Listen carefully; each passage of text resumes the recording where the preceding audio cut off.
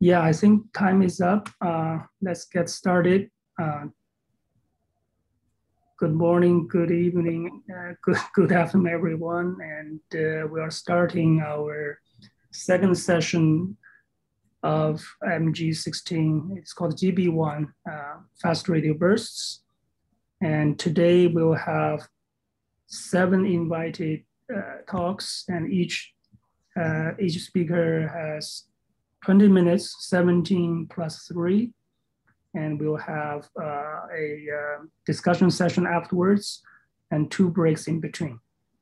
Uh, to begin with, let's welcome uh, Dr. Di Li talking about 1652 pulses from FRB 121102. Go ahead, Di. All right, um, I uh, just confirm that you can you can see my uh, full screen. Yes. Yeah. All right. Um, I, um, it's my pleasure uh, and and thanks uh, Bing, Wiki, and Dunk for this opportunity to uh, report on this uh, uh, new data set. Um, so we have been doing this uh, drift scan survey uh, with FAST, and so far we have published uh, four new FRBs uh, in, in this uh, circle. So they are roughly in this larger DM excess and fainter end, which is not surprising, um, and which the congregate of the fast search co confirm that, that the previous uh, prediction of the sort of luminosity function of FRB can be extended down to fast detection threshold. And the absolute number, uh, I think, is still worth noting. Uh, at the moment, is about 120K uh, event arriving on Earth per day. And uh, if all this event and this trend can be continued to the SKA detection threshold, that would mean uh, somewhere between 1 million to 10 million events per day. So, uh, so we'll be uh, living with uh, fast radio bursts for, uh, for the foreseeable future. And come to a topic of this talk, uh, in collaboration with the Berkeley team, we have built this transient backend. so it utilizes the ring buffer and real-time detection to try to uh, catch the uh, signal and the and, and save necessary data. Uh, it worked for both SETI and FRB. So when we uh, started test this uh, backend back in 2019, we were lucky to catch a very active episode of 121102. So this is one of the uh, brightest burst detected on August 30th, uh, 2019. And in the subsequent uh, one month and a half, uh, 121102 stay uh, active for most of the time. And uh, on certain days, uh, it goes to uh, a hyperactive mode. So as shown on the upper left is the arrival time of the burst and the brightness roughly scale with the detected fluence uh, overlaid on, on this background uh, image uh, from HST. So the uh, punchline is that uh, in a total of little less than 50 observing hours uh, in the time span of about 57 days, they were a total of 1652 bursts. And on two days, uh, uh, the, in the peak hour, uh, there are uh, more than uh, 117 uh, bursts. So that leaves us a lot of data and and many of them have complex structure. so this little animation is just showing that in the step of a DM value of one, which represent about uh, two thousandths of the total DM, uh, the, the burst shape would change. So we uh, uh use different method to do uh, uh, de-dispersion. And it's also worth noting that when the detection threshold changes, the number of bursts and the even the arrival time will shift slightly. Uh, taken all this uncertainty into account, there's still a palpable trend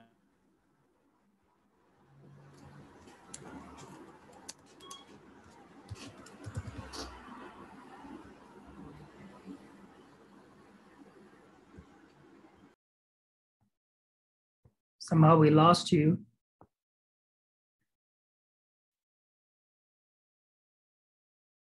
We cannot hear you anymore.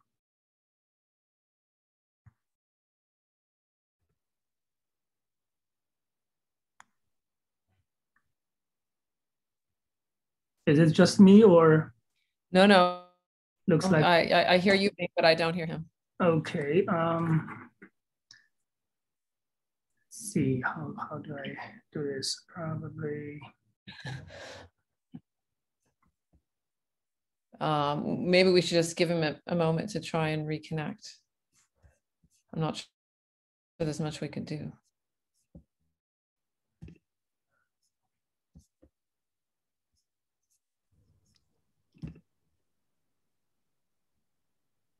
Um, uh, hi, Bing. Uh, how about Hi. now?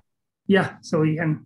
Yeah, Yeah, sorry, I, yeah, apologize for the un- unstable connection. Uh, so I, I hope that, uh, so I, I will go faster. Um, is the, uh, can the slide be, be seen now? Yes. Yeah. Um, so this is a, uh, a null hypothesis test. So we're just assuming the number of detections and, uh, but with the, uh, uh, with the same, uh, DM value and using the uncertainty range, uh, in each, uh, data set. And the increasing trend has a significance of roughly, uh, 2.3 sigma. So it's uh, it's there, but uh, but it's certainly uh, require further test. So this is the uh, birth rate per hour, uh, and a- as is seeing through each day.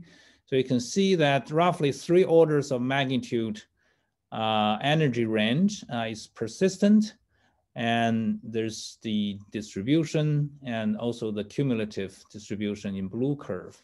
So if we put all the data uh, uh, together, the x-axis uh, is the Julian dates, uh, the vertical axis is the energy.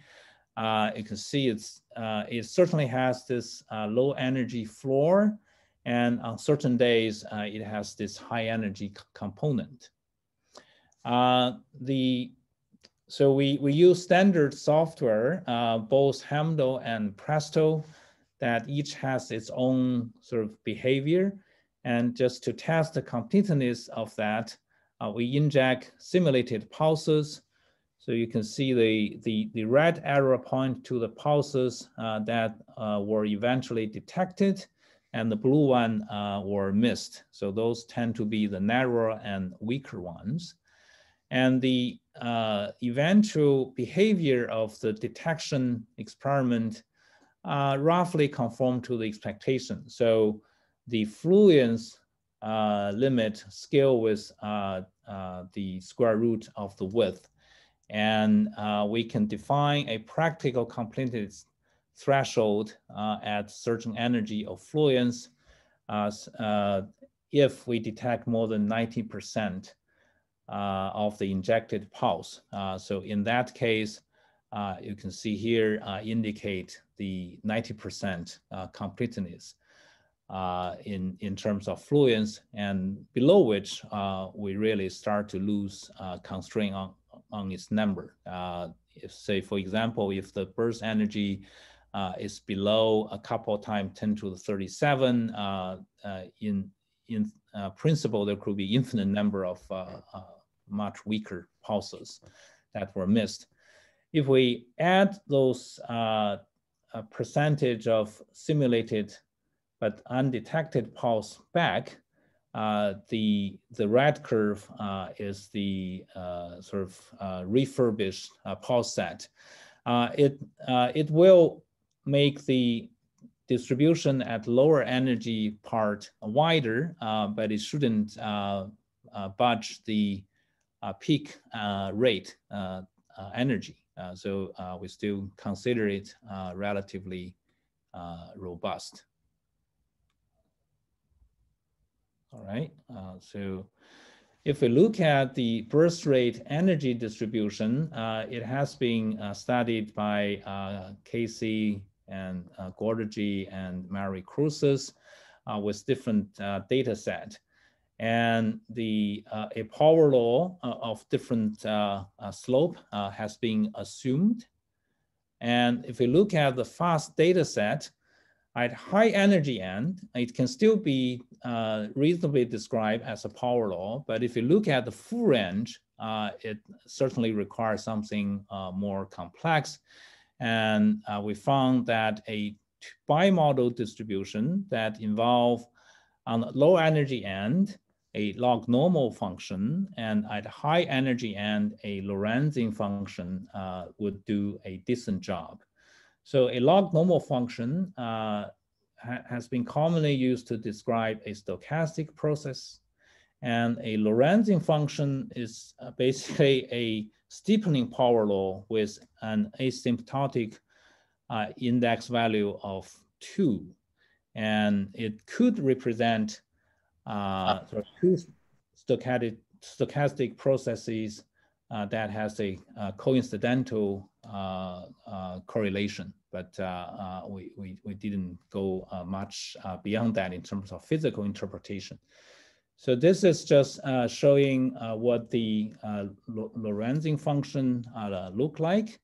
And the, the actual data has a slightly less steep asymptotic slope, but it's, it's 1.83 uh, but it's uh, within the uncertainty and the sampling of the data, uh, they are roughly consistent with each other.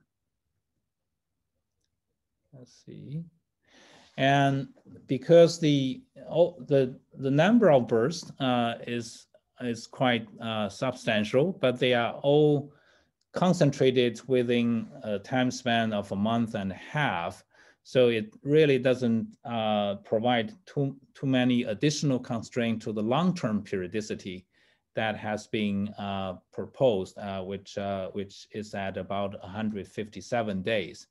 Uh, so the fast uh, results so far are roughly con consistent. We do detect the burst in the active window, but in the recent predicted active uh, window, there have been no detections. Uh, so it changes the duty cycle to be slightly larger, uh, but, uh, but that's not the, the major impact of this data set. And we can look at the time domain behavior uh, by looking at the waiting time. And uh, this data set has two characteristic peak. So the longer peak center around 70 seconds. Uh, so that consistent with the underlying uh, arrival time being stochastic and it's uh, shaped by the uh, by the sampling. Uh, however, the, the, the, the, short time scale clustering around 3.5 uh, millisecond uh, is significant. so it could be something characteristic of its underlying physical processes. So we have used three different methods to try to find the periodicity.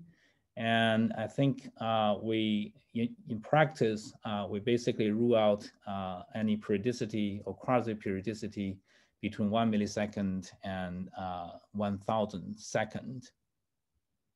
Uh, this is just a little animation showing the total number of bursts uh, known from the year of the data and the the number of bursts known from uh, FRB 121102. So it starts with uh, the Lorimer burst and also the uh, discovery paper by Laura Spitler and, and uh, the recent uh, CHIME uh, catalog.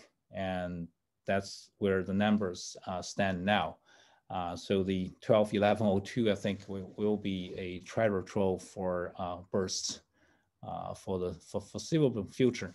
So, so here is a, a, a rough uh, summary. Uh, so in DriftScan, FAST has discovered six new FRBs. Uh, that's consistent with uh, the previous expected detection rate, just extended to a uh, lower uh, fluence threshold. And the in this particular episode, the uh, burst rate of 121102 has a characteristic uh, peak energy at uh, about 5 times 10 to 37 erg. And in the 47 active days, uh, the total energy of this uh, more than 1600 burst add up to about 1% of the total available energy from a single magnetar, uh, assuming some reasonable beaming factor.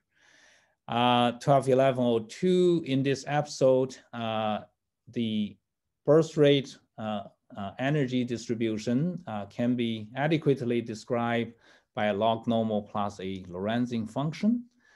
Uh, no periodicity can be found between one millisecond and 1000 second. And there's a significant clustering of waiting time around 3.5 millisecond. so I would uh, step sort of a little bit beyond the direct observable to say that uh, it seems to us that the 121102 burst, at least from this one episode, unlikely to have originated from a single uh, compact object. Uh, if we're considering the available energy, uh, its lack of periodicity, and uh, its uh, energy distribution that seem to have a stochastic nature. So that's that's all of my report. Thank you. Thank you, Di. Um, it's well on time and quite comprehensive. So now uh, we have time for some questions. Because we are a small group, I think you can just unmute yourself and uh, ask questions directly.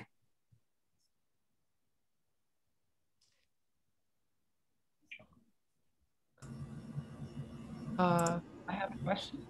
Sure.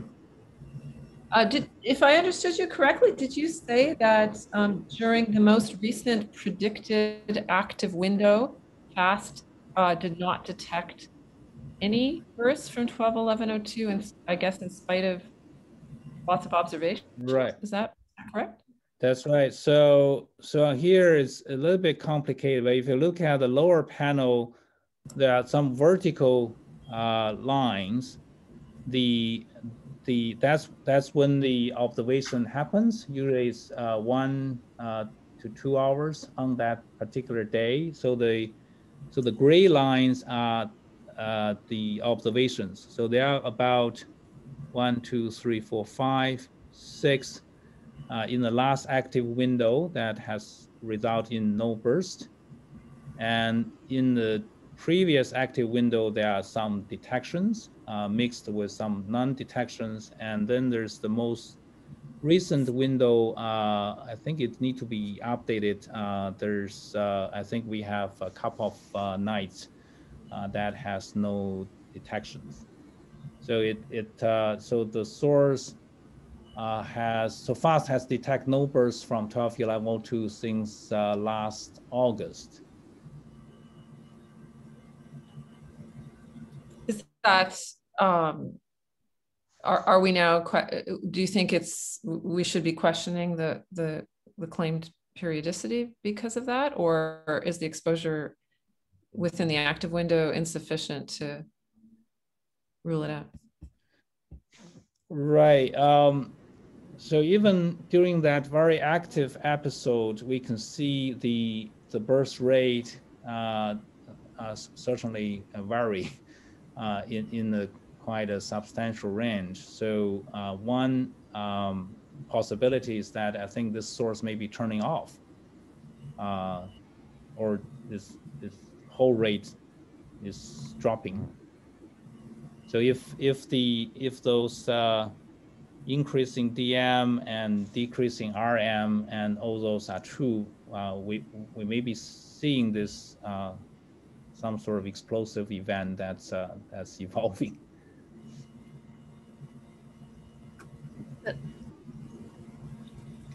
Do you want to ask a question? Oh yeah, I was asking like, but for the previous uh, observation with detections, is there any chance because that already spent lots of years and already have the DMRM changes? Do you notice any evolution with that? Oh, uh, so so that's uh, another aspect of the work that uh, I didn't mention since uh, since it's, it's still being analyzed is that the RM measurement of 121102 all happen at frequency band higher than L band. So the even though we have more than a thousand uh, bursts with distant signal to noise ratio, we, we cannot detect the RM. And um, so it's either very large or it's just not there.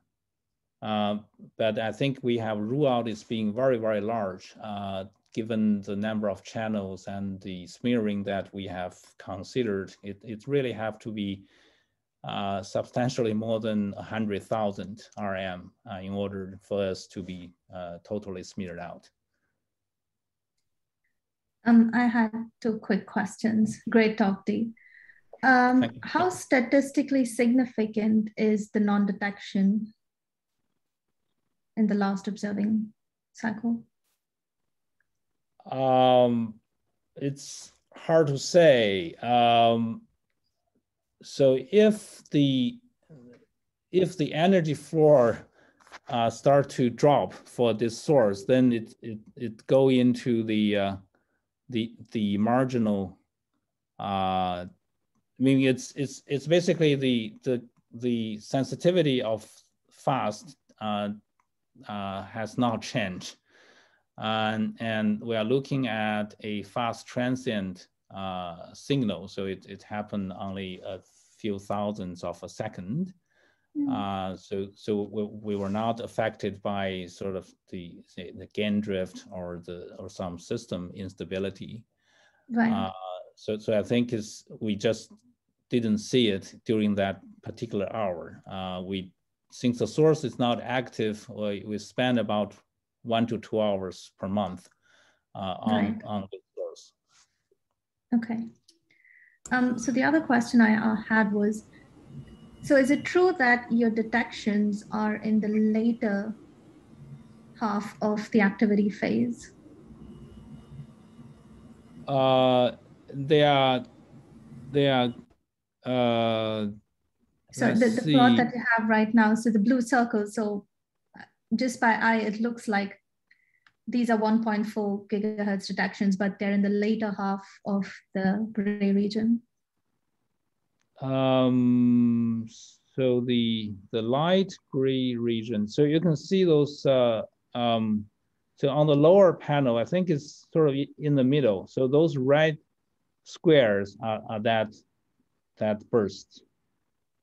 Uh, and the the the sort of light gray zone are the active uh, are the predicted uh, active window uh, based on that uh, uh, 156 days long period and a 50% uh, active duty cycle. Right. Okay. Thank you. All right. Thanks, Di. We have to move on. next speaker is Yuanpei Yang. The title is Fast Radio Bursts and their high energy counterpart from magnetar magnetosphere.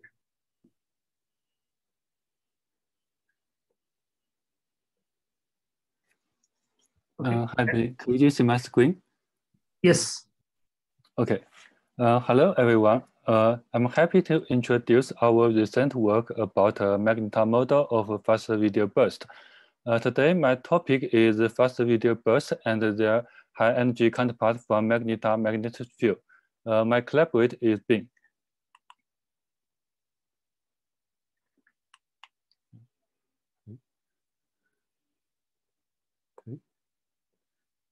Okay. Uh, last year, a galaxy fast radio burst was detected to be associated with an X-ray burst from galaxy magnetar. Such an event suggests that at least some FRB originated from magnetar in active phase. During the active phase of this magnetar on April 28 last year, over 200 X-ray bursts were detected and a burst storm appeared 14 hours before this FRB.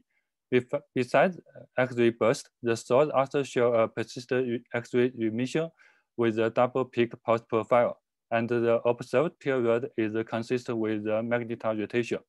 It is interesting that the arrival time of this FRB aligned in the phase of with the peak of pulse profile. The flux and the temperature of the X-ray persistent emission decreased rapidly in the earlier stage of the outburst, but the size of the emitting area remained unchanged. The high energy emission from magnetar has been suggested to be triggered by magnetic activity, magnetosphere activity. For fast radio burst, models for the generation of coherent radio emission can be divided into two broad classes based on the distance from the neutron star where they operate. The first class consists of faraway models where the relativistic ejecta from a neutron star displaced his energy at a large dis distance by interacting with the ambient medium.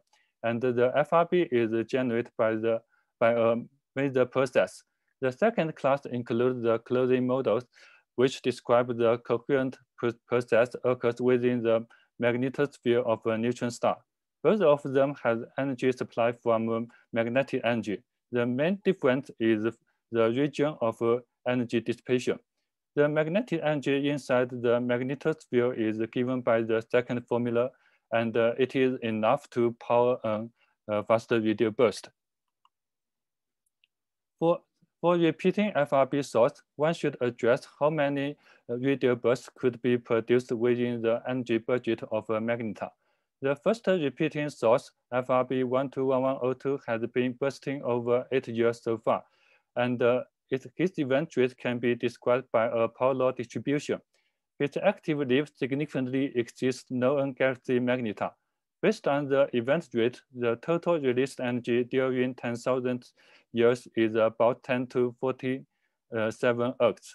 The burst energy is subtainable by a magnetar for a duration of a few years, even if the efficiency is higher than that of the Galaxy FRB. The active time is much shorter than the typical age of a magnetar, which suggests that high, high event rate only lasts for a short period compared with the typical uh, lifetime of a magnetar. So active F FRB repeaters in the universe may originate from very young magnetar with a strong field. Uh, we consider that FRB are triggered by crust fracturing of a magnetar during its active phase because the outer crust has a much lower density than that in, than that in the inner crust. More frequent star quake can occur in this region. During the evolution of a magnetic field, once the shear stress reaches a critical value, the crust will crack, leading to star quakes. At the outer crust, the critical bending angle of a magnetic field is about 10 to minus 3 radian. So once the field line slightly bend, the outer crust will fracture. So star quake rate in the outer crust uh, depend on the magnetic field evolution, which can be generally given by the third equation. The advection and the ohmic term could be neglected because the plasma is almost at rest and the conduct conductivity is very large. So Hall drift dominates the magnetic field evolution in short term. Although Hall drift is non-dissipative, it can change the magnetic field configure. The typical Hall timescale in outcrust is about a few years. Because the critical bending angle of a magnetic field is small, the typical timescale of outcrust fracturing would be much shorter than the Hall drift timescale. So the event rate could be about a few bursts per day. And the burst rate significantly depend on the magnetic, magnetic field strength of a neutron star. In long term, uh, the magnetic field in crust would decay by ohmic dissipation. Two mechanisms dominate this process. First, the nonlinear quantum gives rise to turbulence cascade to smaller scale. Second, the ohmic dissipation rate is enhanced by Hall cascade. The typical time scale for the magnetic field decay is about a few hundred years depending on the initial field strength. When the magnetar age is smaller than the decay time scale, the burst rate is constant. Once the age exceeds the decay time scale, the burst rate would decrease significantly. So active repeating FRB are proposed to originate from very young magnetar with stronger magnetic field. Uh, because the number of young magnetar in the universe is relatively small, uh, we expect that the active repeating FRB are rarer than one of FRBs. Such a result may also offer, offer an interpret interpretation uh, to the periodic activity of FRB 180916 because the internal strong magnetic field of young magnetar can deform the star, leading to possible free precession with a long period. The corresponding discussion could be seen in the following Dongzi's report. Uh, on the other hand, the repeating behaviors may also depend on the line of sight if FRB emission is beamed. Because the pole region have a much stronger field, the crust fracturing may more easily occur in this region. At the pole, at the pole of a multipole, multipole field, the magnetic energy is stronger, the fluctuating rate uh, is larger. We call uh, the region with a large fluctuating rate as the fragile region. If the fragile region swept across the line of sight as the magnetar rotates, one would detect FRB with a high repetition rate. As discussed in the above this report, uh, the burst of FRB 121102 appear to have two components in the energy distribution. According to such a picture, the two components might co correspond to two fragile regions with different magnetic field strengths. Uh, the high brightness temperature of uh, FRB implies that his radiation mechanism must be coherent because FRBs have some property similar to radio emission of normal pulsar. Some pulsar-like coherent radiation mechanism have been proposed. The connection between FRB and the radio pulsar are manifested by the following fact. Uh, first, FRB and the radio pulsars are the most coherent source in all kinds of astrophysics phenomena. In addition to normal radio pulse, some pulsars show giant pulse with the, bright, with the brightness temperature compared to FRBs, although the luminosity of giant pulse is much smaller than the, that of FRB. Uh, second, both the periodic uh, radio pulse and uh, FRB 2048 were was emitted from galaxy magnetar. And uh, there have been some bright uh, radio bursts with the flux between normal radio pulse and uh, uh this uh, galaxy FRB. Uh, in this work, we consider FRB is generated by coherent plasma radiation in the magnetosphere. When the crust crack, a magnetic field uh, disturbance is produced by footprint motion at the surface of a neutron star. The Alfvén wave packet travel along the field line and his, his amplitude decrease with distance. Because the plasma density decrease with the radius, a strong parallel electron field is in, induced by Alfvén wave at a, a, critical radius where the uh, charge, starv charge starvation occurs. At the charge starved region, the strong uh, electron field trigger pair cascade and the electron pair would accelerate and emit gamma ray photon. Then the cascade process is interrupted when the uh, fresh pair uh, is able to screen the accelerating electron field.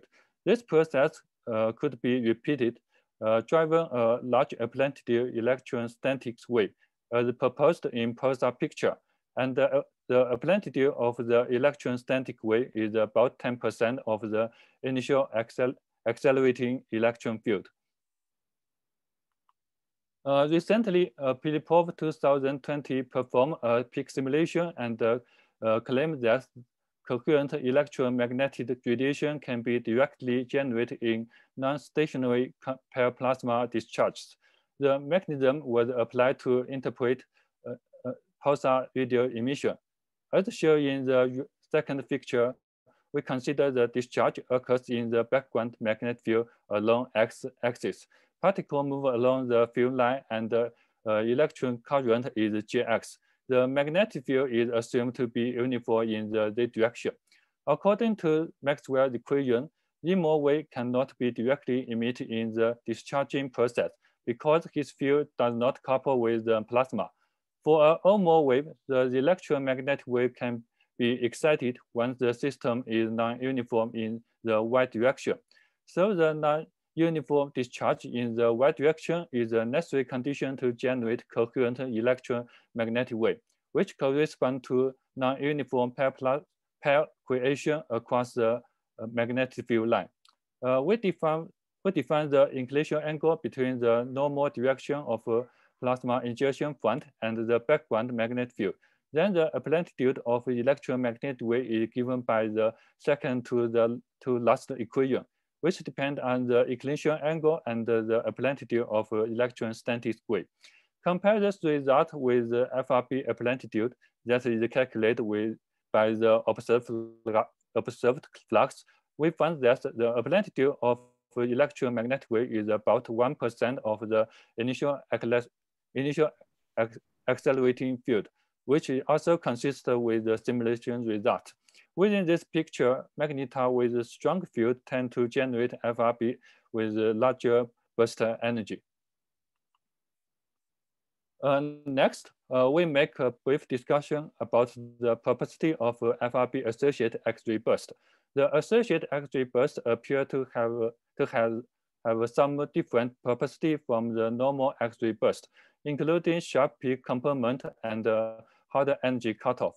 Under strong magnetic field of a magnetar. for E-mode photon, the stronger the magnetic field, the more transparent the trapped fireball.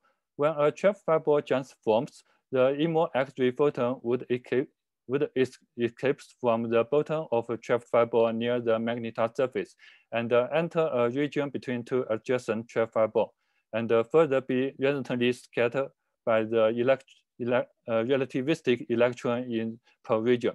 The radiative force of X-ray emission would change the electron momentum distribution in short term. In the equilibrium states, the balance velocity depend on the injecting uh, photo direction re relate to the field line. Because the Lorentz factor of electron is about a field, the cutoff energy of X-ray emission would be increased by several times compared with those without resonant scattering, uh, which might explain the high energy cutoff of the associated X-ray burst. Another important observation property of the associated X-ray burst is that his cut, uh, cutoff, uh, uh, his light curve show sharp peak complement aligned with the galaxy FRB. We propose that the sharp peak complement is from the region between two adjacent trap fireball. When the photo, the mode X-ray photo enter the region between two adjacent fiber, they will be confirmed in a beam angle due to the large optical depth at the top region of a trapped, trapped fireball around it. So the radiation from this region would be confirmed in a narrow beam, especially for multipole field and uh, near the magnetar surface. A large flux is emitted in this region and the radiation beam is confirmed by the trapped fireball leading to sharp peak complement in his light curve. Uh, at last, uh, in addition to X-ray burst, this galaxy magnetar also showed persistent X-ray emission with a double peak pulse profile during its active phase. The arrival time of FRB 2048 aligned in phase with the brightest peak of pulse profile. The black body temperature of X-ray persistent emission decreased rapidly in the earliest stage of outburst, but the size of the emitting area remains the same with the radius of a few uh, kilometers we propose that the X-ray persistent emission is from a hotspot uh, on the magnetar surface and calculate his temperature evolution.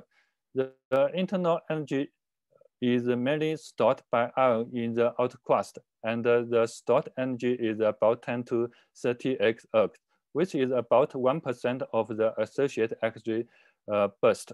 Based on the temperature evolution equation, the typical cooling time is about one day. Uh, which is consistent uh, with the observation. Uh, at last, I make a summary. we propose that FRB are triggered by crust fracturing of magnetar with burst event rate depending on the magnetic field strength in, in the crust. The crust-fracturing produced Alfvén wave, forming a charge-starved region in the magnetosphere and leading to non-stationary plasma discharge. Uh, FRB is produced by coherent plasma emission due to uh, non-uniform pair production across the magnetic field line. The Sharp component of X-ray burst associated, associated with FRB 2048 is from a region between two adjacent trifibers. And his spectrum is, with a high cutoff of energy is attributed to resonant compton scattering. The persistent X-ray emission is from a hotspot heated by the magnetic field activity, and his temperature evolution is dominated by magnetar surface cooling. Uh, with this picture, magnetar with a stronger field uh, tend to produce brighter and more frequent uh, repeated burst. Uh, my report is over. Uh, thank you. Okay, thanks, Yuanpei. Uh, questions? My question. Uh, hi. Uh, Yuanpei, uh, recently there was a paper by Beloborodov group about decay of Alfvén wave in the charge starvation region. Uh, they claimed that uh, the Alfvén wave just decays smoothly without uh, something drastically. But yeah, you said the, you your picture, is your picture compatible with, with there, or please comment? because you, you, you essentially uh, assume that uh, when Alfvén wave enters uh, charge starvation region, it produces plenty of pairs and, and so on. Uh, yeah, but, uh, yeah. In this work, uh, our coherent coherent radiation region is at a charge starved region. this is based on a simulation work of Philippov 2020.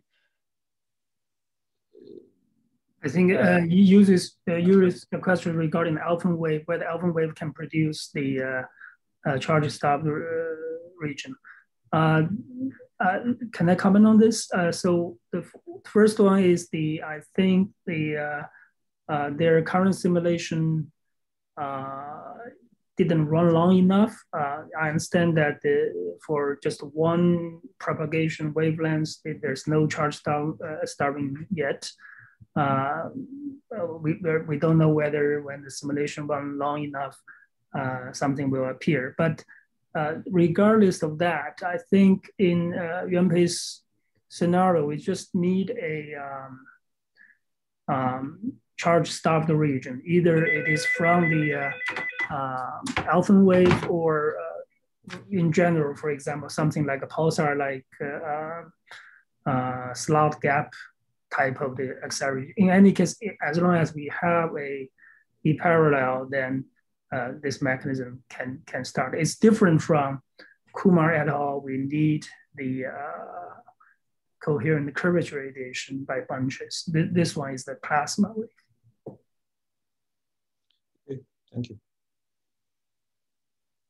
So Bing, am I getting it right? You need a low twist region?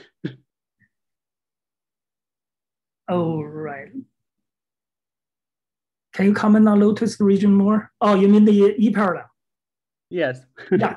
I'm just commenting, yes. You, this other region would be, have to be a low twist region. E exactly, yes. Yep. So, yep. so you will talk about that in your talk. Yes, great. Other questions to Yuanpei? Okay, if not, let's thank Yuanpei again.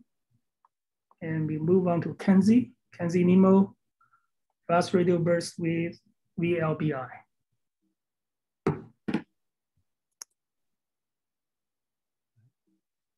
Yuanpei, can, you, um, can I can I share my screen? Uh, yeah, you need okay, to I will stop. Share.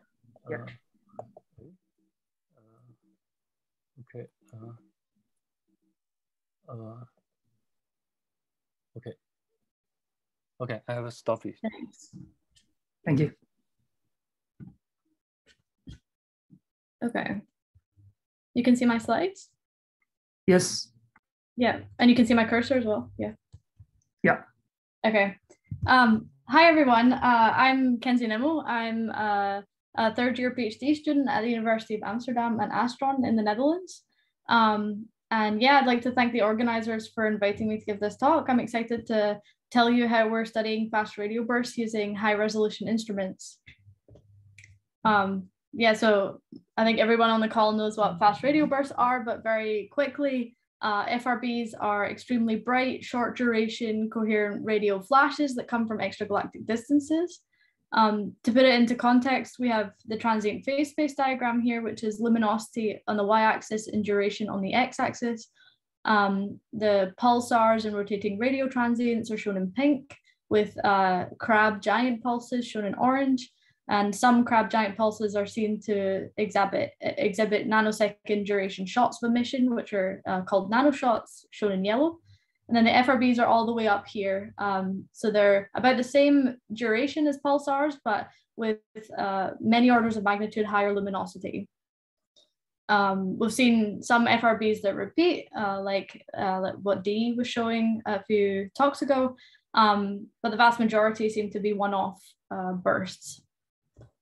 And the uh, the main kind of open questions that, that are that's driving my research is um, what are fast radio bursts? What kind of objects produce fast radio bursts? What's the emission physics behind the FRBs? And um, are there multiple populations? Are repeaters and non-repeaters uh, the same type of object in emission physics, or are they uh, completely different things? Um, so how can we use very long baseline interferometry to uh, probe these questions about fast radio bursts? Um, so this is the, the CHIME telescope uh, on Monday we had a, a few talks about um, some some work within the Chime FRB collaboration.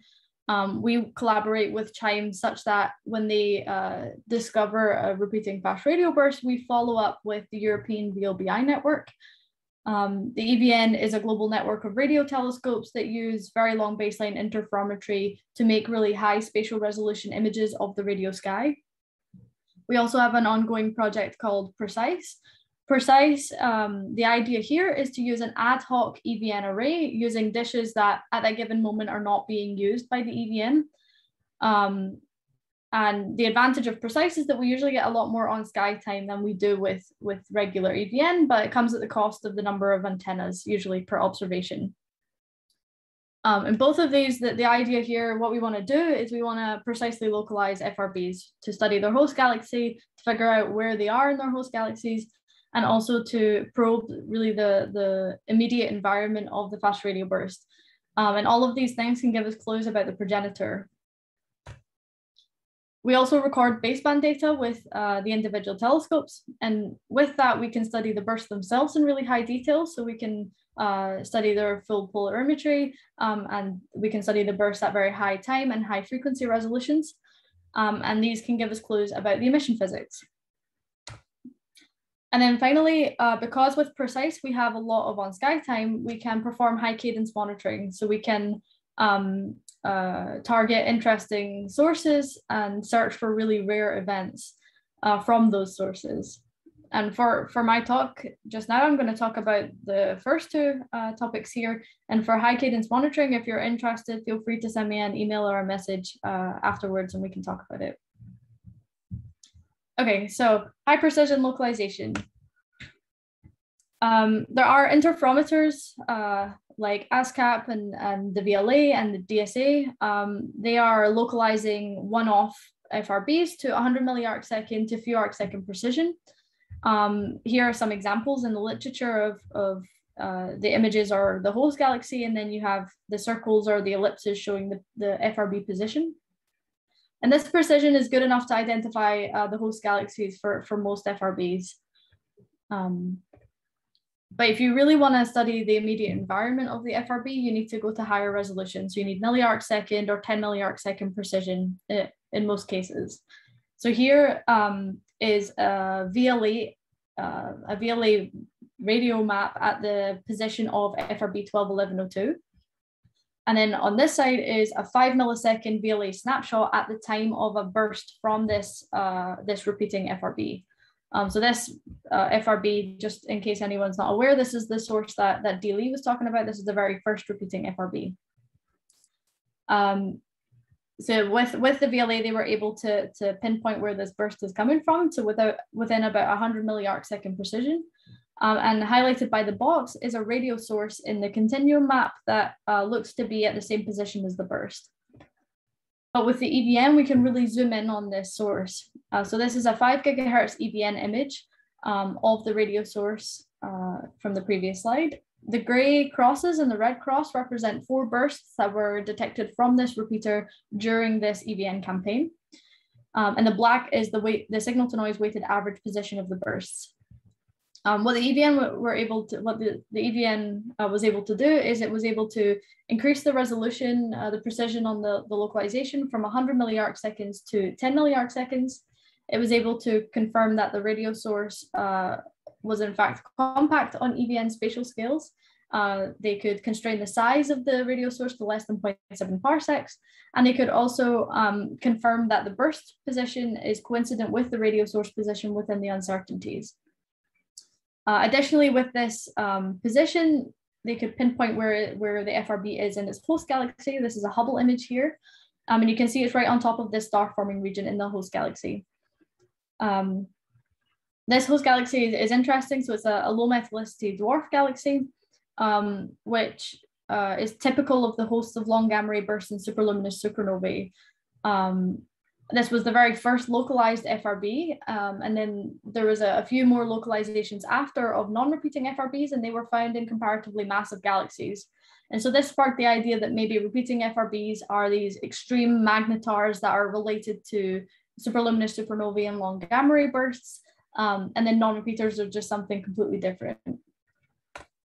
Uh, that was the thinking until um, FRB 2018-0916B. Uh, so we localized this repeating FRB using the EVN uh, to 2.3 milliarc second accuracy. Uh, over here, I show the four bursts that were detected during the, this EVN campaign. These are the EVN clean images of the bursts. Um, and in each case, these are only a few milliseconds of data that have been imaged. And panel E is a continuum map. So this is imaging the entire observation to search for any persistent radio emission. And as you can see, we didn't detect anything, uh, which is different from what we saw from the first repeater. Uh, we also studied the host galaxy. So this is uh, with Gemini North. The FRB was coming from this massive spiral galaxy, very like the Milky Way. Uh, in fact, it's about 100 times more massive and five times higher metallicity than the host of FRB 121102. Um, and you can see the position of the FRB here in the arm of the spiral galaxy is very near this prominent star forming feature in the galaxy. We followed up with Hubble to achieve higher resolution in the optical. The position of 180916 is shown with the green dot. You can see that it's offset from the star forming region by a few hundred parsecs. So this highlights that repeating FRBs can live in different host galaxies and local environments. And this diversity in hosts has to be accommodated in the, the progenitor models. So either multiple different objects can produce repeating fast radio bursts, or um, there's a singular FRB progenitor that can live in many different types of environments. Uh, the one commonality between this localization and the previous localization is that they both live near uh, star forming regions. So maybe that's important for the fact that it's a repeating FRB. Um, we added more complexity to the story by studying another repeater. Uh, this FRB was very recently published by the Chime team, um, and it's specifically interesting because it seems to be coming from the direction of M81, now, M81 is a really nearby galaxy at a distance of about 3.6 megaparsecs. Uh, to compare with the other two localizations I've just talked about, they're at one gigaparsec and 150 megaparsec. So this is very nearby. Um, within the, the error ellipse, so that's this red ellipse here from the time uh, uh, localization, the, um, the authors identified four sources that potentially could be related to the FRB. Um, but based on the errors, they couldn't identify which, if any, the FRB is actually associated with. By using the EVN, we were able to precisely localize this FRB to a few hundred milliarc second accuracy, uh, shown by this black ellipse here. And with this precision, we were able to identify that the bursts are coming from uh, a globular cluster in M81. Now, this association with an old stellar system is really different from the previous two star forming regions, uh, further adding diversity to this host galaxy and local environment picture. Um, in, in, fact, uh, magnetars, which are a promising model um, for uh, the production of, of, FRBs, as we've just heard, um, they can be created through many different channels. So they can live in many different types of environments. Here it's hard to to imagine that this FRB is a magnetar that was created through like your normal core collapse supernova channel, but maybe this is um, a magnetar created through accretion-induced collapse of the white dwarf, uh, or maybe even a compact binary merger. Um, so this is another example of why uh, high spatial resolution is really important for FRBs. Uh, so this repeater is uh, extreme an extremely active source. It kind of went into outburst and, and everyone pointed their telescopes at it and I think everyone detected it. Um, so much so, yeah, there was uh, uh, many interferometers that localized the source within a few days to weeks of each other. And they're all shown on this, this plot here with the EVN dirty image of 13 bursts combined uh, shown in the background. The synthesized beam is shown in the bottom corner just to highlight the difference in precision between these instruments. Um, uh, both the VLA and the UGMRT detected radio, uh, radio source, a persistent radio source um, at, the, at the same position as the bursts. Um, but with the EVN, we could uh, see that in fact there's no compact radio emission there or nearby, um, pointing towards the, um, the VLA and UGMRT, UGMRT detections being uh, uh, from star formation in the galaxy. A paper on this work and also a paper on another repeating FRB that the PRECISE team have localized is in preparation at the moment. Uh, so it means that we have actually five VLBI localized repeating FRBs. Okay, so I'm going to switch gears a bit and talk about the burst properties um, and specifically studying them at very high time resolution. Okay, so I mentioned at the beginning that uh, there are repeating and non-repeating FRBs, and it's uh, not clear if they're coming from physically different objects in emission physics or if they're all the same thing. Uh, we are, however, starting to see kind of characteristic repeating FRB qualities in the burst properties. Um, so for this FRB, which is the, the FRB in the spiral galaxy, we see the bursts are narrowband. And in fact, uh, very recently, um, as uh, Pragya showed on, on Monday, in Monday's session, the CHIME FRB catalog, um, there was a paper by Pleunis et al. showing that for this large sample of bursts, um, the repeaters are in general more narrowband than non-repeaters. Uh, we also see the sad trombone effect, which is the drift down in frequency as a function of time. Um, the polarization properties are also interesting. So uh, we see 100% linear polarization, that's the red, and blue is 0% circular polarization. And then we also have a constant polarization angle during the burst and also between bursts. Uh, and these properties are also seen for the first repeating FRB 121102. I'm going to handpick this burst here uh, and zoom in in time. So this is the burst at 64 microsecond resolution. If we go to 16 microsecond and then one microsecond resolution with some zoom in panels, you can see that there's burst structure down to three to four microseconds in this burst. Um, so this is constraining for the size of the emission region. It tells us that it's about a kilometer uh, if we ignore any relativistic effects. And in fact, not all of the bursts resolve down to these microsecond structures. We see a range of different timescales with a dynamic range of about 500. Um, additionally, the polarization angle varies on these really short timescales. Um, maybe these are also characteristic of repeating FRBs. Um, but these observations I've just talked about, we were actually limited by Milky Way uh, interstellar medium scattering uh, due to the low galactic latitude. But you can see this other repeater, which is the globular cluster repeater, uh, is at much higher galactic latitude. And so we uh, have a better, we can have a better constraint on the shortest temporal features in this FRB. Um, so these are the four bursts that we use to localize this fast radio burst to the globular cluster. And as you can see, they exhibit all of these uh, same properties that we've seen in the other two repeating FRBs. Um, yeah, the, the time resolution here is eight microseconds. So we're already at very, very high time resolution. You can see that there are small variations in the polarization angle um, at this resolution. Then I'm gonna take out burst B3 here and zoom in in time. So we're going from eight microseconds to one microsecond in green uh, to 30 nanoseconds in black uh, with some zoom in panels below. And we see that there's actually burst structure down to about 60 nanoseconds um, in this burst. Uh, again, we looked at all of the bursts at very high time resolution and uh, they, they show a range of different time scales with a dynamic range of about a thousand. And actually this uh, kind of forest of, of shots that you can see here really uh, resembles what's been seen before from the crab pulsar. So this is a, a crab giant pulse plotted at one nanosecond resolution with a zoom in below. Um, and you can see the same kind of uh, forest structure. Okay, so I'm going to bring back this plot from the beginning of my talk, but now I'm going to populate it with um, the, the time scales that I've just talked about from, from these other repeaters. So you can see uh, this globular cluster repeater is all of the black stars here is right in this gap in, in the parameter space. Um, it doesn't really fit in any of the populations that were already there. Um, I've shown you that it exhibits the kind of characteristic repeating FRB qualities that um, we're starting to see in some repeaters. Um, so it has this connection to the extragalactic FRB population. Um, it has very short timescale structure uh, and this forest of shots that we see um, in the crab pulsar, and also these really uh, short timescales that the brightness temperature is about the same as that of the brightest nanoshots, where these gray lines are constant brightness temperature. Uh, we also see a range of timescales, again, seen in the in crab giant pulses.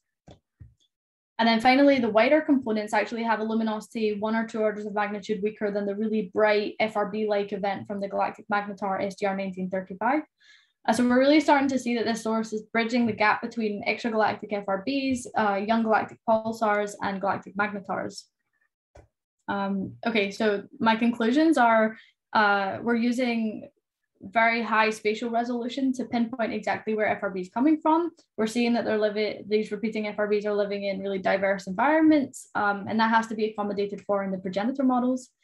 Um, by studying them at very high time resolution, we're um, drawing uh, um, observational parallels between extragalactic FRBs, uh, galactic pulsars, and magnetars. Um, and it could suggest that they have a, a common magnetically powered emission mechanism. And then uh, for the future of uh, VLBI for FRBs, um, the Chime telescope that I mentioned, they, they're building outrigger stations, which we heard about on Monday from Jane. Um, and they'll be able to localize lots of FRBs uh, with high enough precision to, to even study the host galaxy, but maybe even study the local environment in some cases. Um, but I will argue that for really nearby FRBs, we'll, we'll want to localize them to milliarc second or tens of milliarc second precision to really um, make the use of, of optical follow-up um, of these sources. And then in terms of the high time resolution uh, um, stuff that I mentioned, there's likely a population of these ultra fast radio bursts in the nanosecond to a few microsecond timescales uh, that current FRB surveys are, are just not sensitive to. Um, thank you. And if you have any questions, I'll be happy to answer them. Thank you, Kenzie.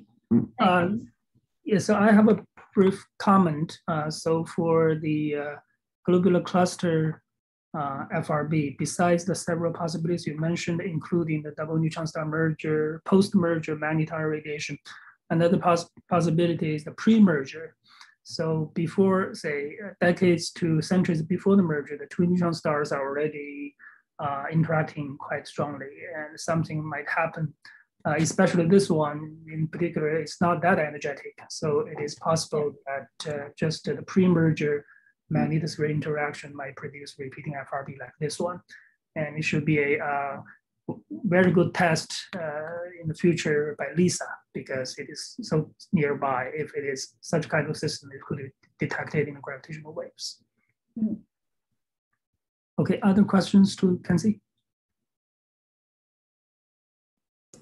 Hi, Kenzie. I posted this in the chat. Um, great talk, but uh, I was really curious about how exactly you do your filter bank conversion, and I realize it's like kind of a technical question, but um, at least when we, we we've tried similar things, and uh, we've always you know achieved mixed results because when you like flag RFI, then you kind of change frequency responses, and uh, sounds like a really difficult problem to solve. And I was wondering how you did it. Yeah, um, so we we had a similar problem. Eventually, we got to the point where uh, we just read out the raw data um, essentially. So we have subbands there are 16 megahertz subbands, so we can get to 30 nanoseconds uh, sampling. And we essentially just, we don't do any kind of um, channelization or, or Fourier transform. We, we just read out um, the data into filter bank format. Because before when we, when we did the, um, yeah, we, we did the channelization, we could only get to 60 nanosecond resolution. Um, but, but sorry, what, what was your, your specific, what's your specific problem that you're trying to solve in terms of um, typically, when we try to, uh, you know, invert one of these subbands or something, you know, you see there's RFI in channels within the subband and then you zap the RFI and then you can't really invert. Oh, I see. Okay. I don't know if you into Um, similar problems. I realize this is quite technical, so other people with uh, maybe higher level questions should go first, so we can also talk offline if that's if that's. Yeah, of course. Well, I think my, my answer quickly is that we don't uh, really have strong RFI at the time of the burst in these bursts. So we don't do any flagging for the really high time resolution um, uh, work. Uh, in, in the lower resolution uh, work, we have some flagging, but when we're doing the high resolution, because we're doing each subband uh, itself, but there's there's techniques. Um, I'm forgetting the name. I, I can I can figure it out, but there's a technique where you can kind of go between time and frequency um, uh, space, and you can kind of flag RFI and do your coherent dedispersion and go back and forth without um, yeah messing messing up if that makes sense. Uh, I I have the name of it somewhere, so I can send you it. But I mean, it, I'm sure it would be a huge rabbit hole to go down. But I think there's there's a technique where you can jump between your Four- your Fourier transform space uh, without um, having the problems that you're describing. Ah, I Uh, see.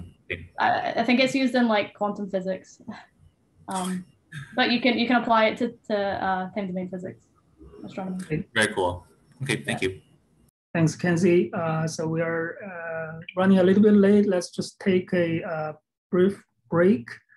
We'll still resume around the same, at the same time we planned at 40.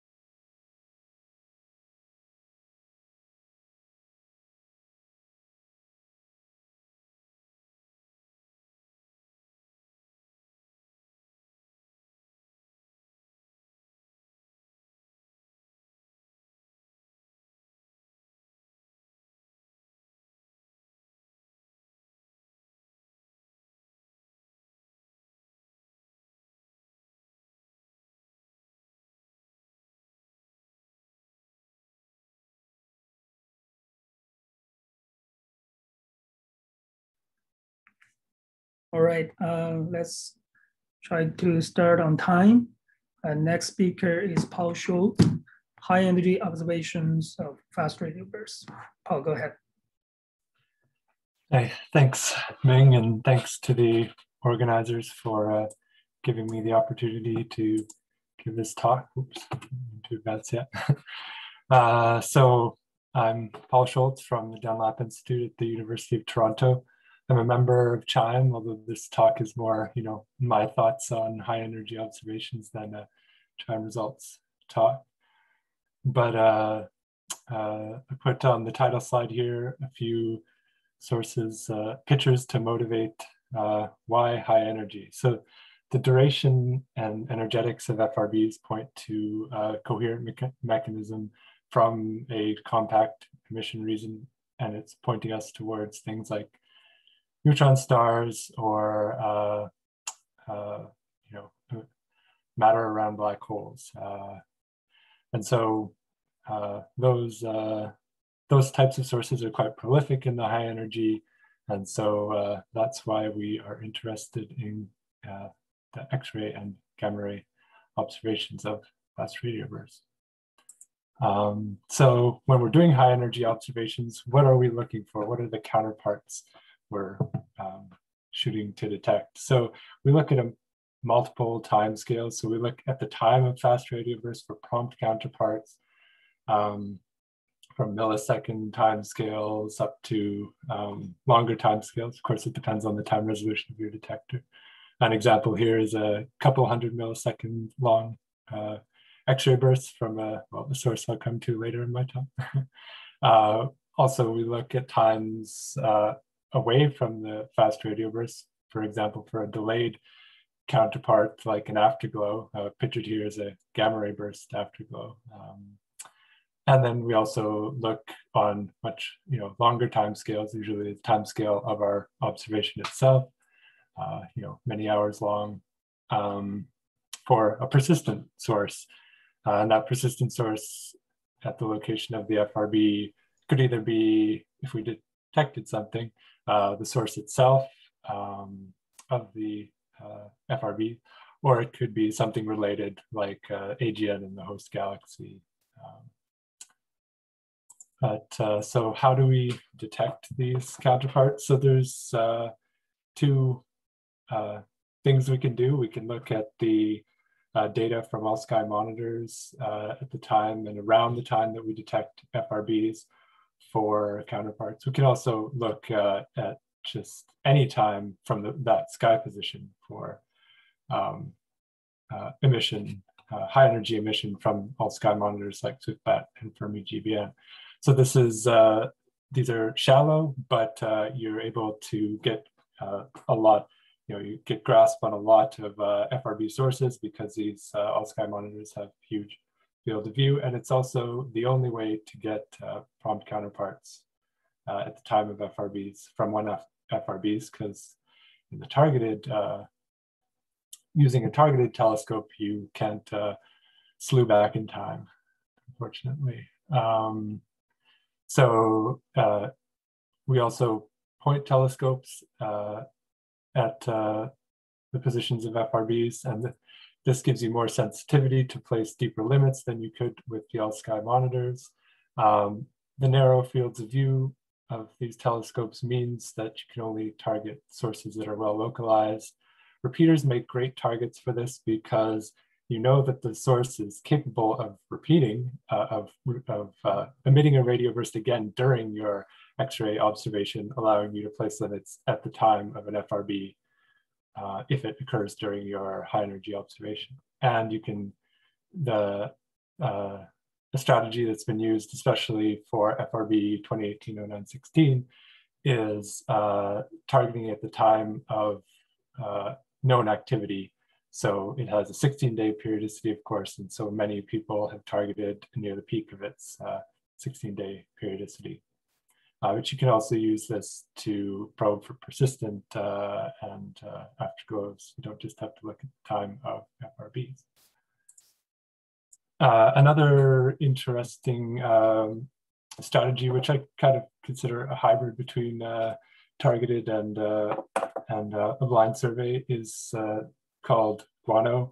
It's a dump of the Swift bat ring buffer, if you get the pun. Um, and uh, it, so it takes uh, triggers from external telescopes from Swift and including from FRBs and dumps that ring buffer allowing access to the raw event data um, which you wouldn't normally get uh, uh, from a from a target that wasn't triggered uh, by automatically detected on board Swift. Um, so this so this allows you to get the same so same event data that you would get for Swift GRBs for non-Swift targets. Um, it's also you, uh, Swift is able to repoint based on um, on these triggers. And then you get uh, pointed observations using uh, the X-ray telescope and UV optical telescope. And a demonstration of this uh, was done by the Guano team, uh, where they placed limits using the event mode data and also pretty uh, impressively uh, was on target with XRT and UVOT in 32 minutes. Um, this this paper, the I think the FRB was likely to be a spurious event, but it's still a um, a uh, important demonstration of the capabilities. And uh, they, Guano is now triggering and ingesting and triggering on Chime FRB kind of VO events. So uh, potential for uh, fruitful discoveries there. Um, while we're talking about SwiftBat, it's uh, important uh, to you know, say that there was a claim detection of an FRB in the past, uh, DeLaunay et al. detected or claimed a detection of a three sigma uh, uh, event uh, in SwiftBat data. Uh, quickly thereafter, Shannon and Ravi uh, put out a paper saying that there was no evidence in the radio for a radio afterglow that you would expect from a gamma ray burst. So there was some skepticism there towards the result. And more recently, uh, a reanalysis of that data has shown that this was a uh, spurious event. But that doesn't mean that we don't have a counterpart to an FRB. It depends, I guess, what you consider an FRB. Um, so um, as we know, we've heard in past talks, uh, April 28th last year, uh, SGR 1935 went into outburst and an extremely bright event uh, was detected by it uh, in, in radio telescopes, CHIME FRB and STARE 2. Um, in, in CHIME, it was detected 20 degrees off of where CHIME directs its uh, sensitivity at the meridian. And so we got this, uh, you know, um, sawtooth pattern here, which uh, we use to localize it to the uh, location of SGR 1935. Um, and this event uh, energetically was uh, quite comparable to the faintest FRBs we have. So here we have fluence against distance on this plot. And if you turn your head sideways, you see lines of constant energy. And uh, it, it's about an order of magnitude or two uh, less faint than, or less energetic than the least energetic FRB. So uh, this you know, exciting event last year showed us that galactic magnetars can emit bursts that we would call FRBs if we, you know, if, if we detected this in, if this had happened in Andromeda and we detected it, we would have called it an FRB. So, um, and importantly to the talk I'm giving right now is uh, there was an X-ray counterpart. So uh, integral, uh, here is an integral light curve of the burst shown uh, with the chime light curve uh, in orange uh, underneath it. And you can see that the, the, two peaks of the counterpart are lag a little bit the radio burst. Uh, it wasn't just detected by integral, many other telescopes were uh, looking at the source at the time when it was an outburst. And um, they found, they all found, came to similar conclusions that this was not really an exceptional burst in terms of uh, its brightness and, in flux, its its uh, its uh, X-ray flux was not exceptional compared to both uh, the bursts coming from SGR 1935 at the time and typical X-ray bursts from magnetars. but what was uh, exceptional was that it was an outlier spectrally and had a much harder spectrum than other uh, X-ray bursts.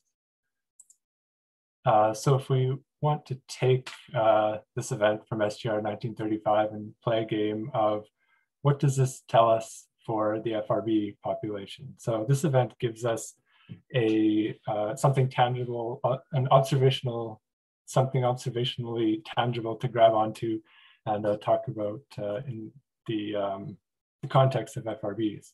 So it gives us an X-ray to radio or gamma ray to radio ratio, depending on what band you're talking about here, uh, to uh, to play with. And you know, this certainly would apply to magnetars, but in other source classes, it could apply if the emission mechanism is similar, or even if the emission mechanism is different, as long as it has a similar uh, uh, efficiency between the two um, bands.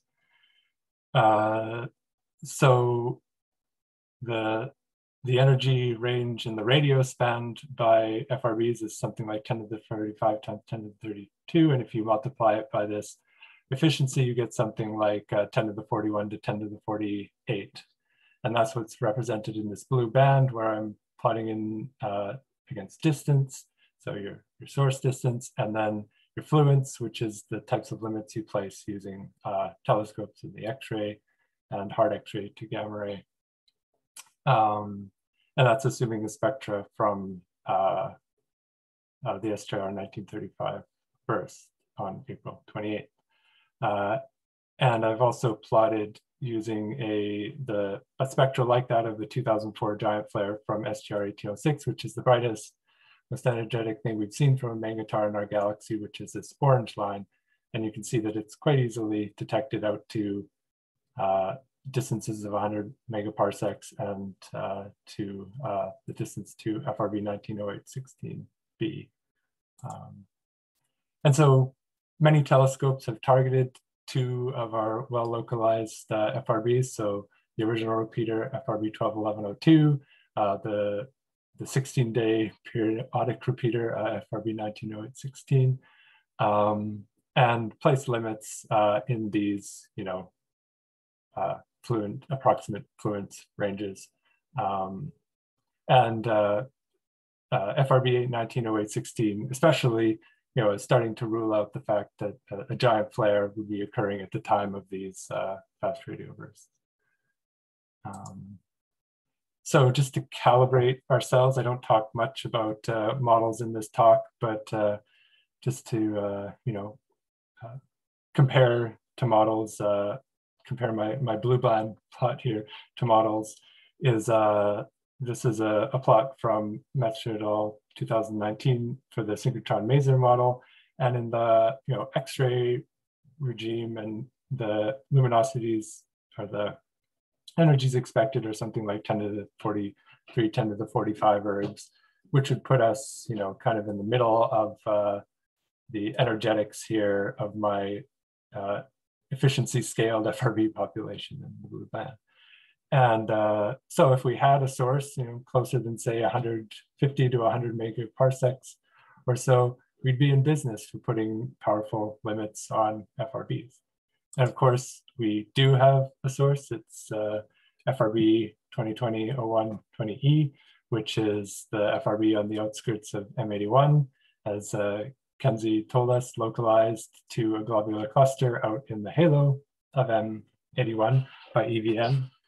And uh, so this distance is only 3.6 megaparsecs. So, you know, great. If I plot that on my plot here, uh, you can see that we'd uh, be, that at that distance, uh, oops, a radio burst uh, uh, assuming the, the scaling between radio and these high energies that we see from SGR 1935 would be sensitive to six magnitudes out of the eight spanned by the FRB population. So we just need a typical, uh, you know, uh, say 10 to the 40 uh, erg or so um, bursts, radio bursts from uh, FRB 2020 0120 and then we'd be sensitive to SGR 1935.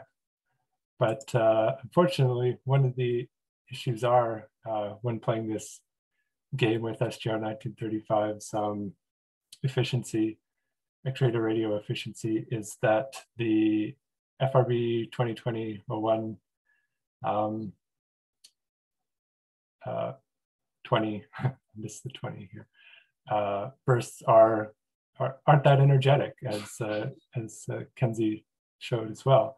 Um, and so they, taking those and scaling them by SGR 1935's uh, efficiency puts them, puts it below our detection limit. So what we need is either, uh, you know, this an, an, FRB source like this or as close as this to have either be more efficient than um, SGR 1935 uh, relative between its radio and X-ray, or uh, a bright burst from this FRB, or an energetic burst from this FRB, or a similarly close FRB, and uh, we'd, you know, uh, get some either a detection, fingers crossed, or a quite interesting limit.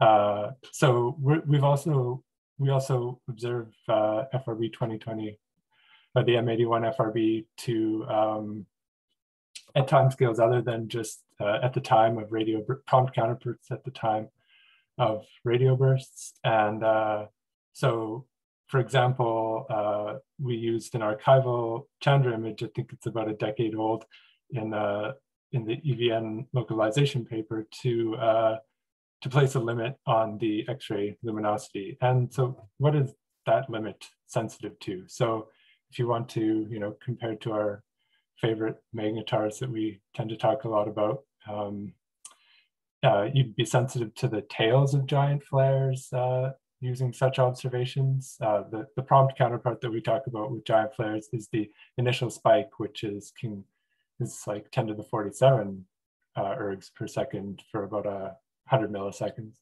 But um, but the tail itself is into the 10 to the 40s uh, in luminosity.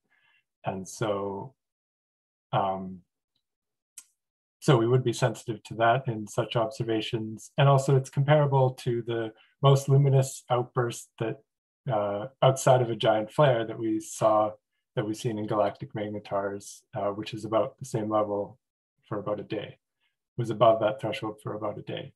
Uh, of course, uh, this M81 FRB does not exactly live in an environment that you'd expect young magnetars to live in, except for um, alternative formation channels like accretion-induced collapse. So you could also compare to things like accreting systems.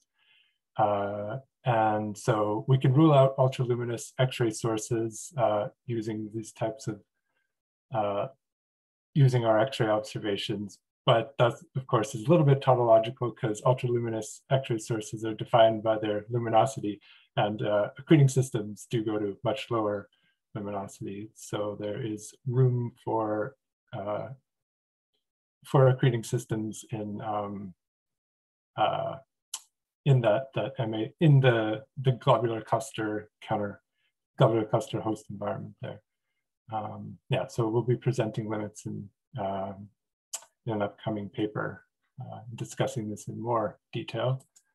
Uh, okay, so thank you. I believe that's definitely about my time. And uh, yeah, so no high energies detected yet, except a notable exception depending on uh, how you view SGR 1935. Um, and with nearby repeaters, we're starting to show that for these repeaters at least, the counterparts don't seem to be the brightest. Uh, we can certainly rule out things like magnetar giant flares happening in these sources. Um, and so it, uh, yeah, and as we discover closer and closer sources, we are getting much closer at probing uh, interesting uh, energetics uh, for high energy counterparts. Thank you. Uh, thanks, Paul. we have time for one question. Any question to Paul?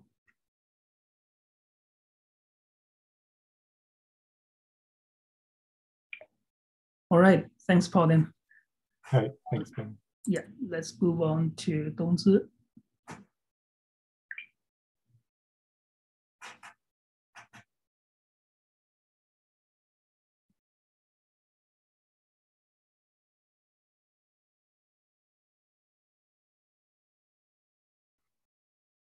You're muted.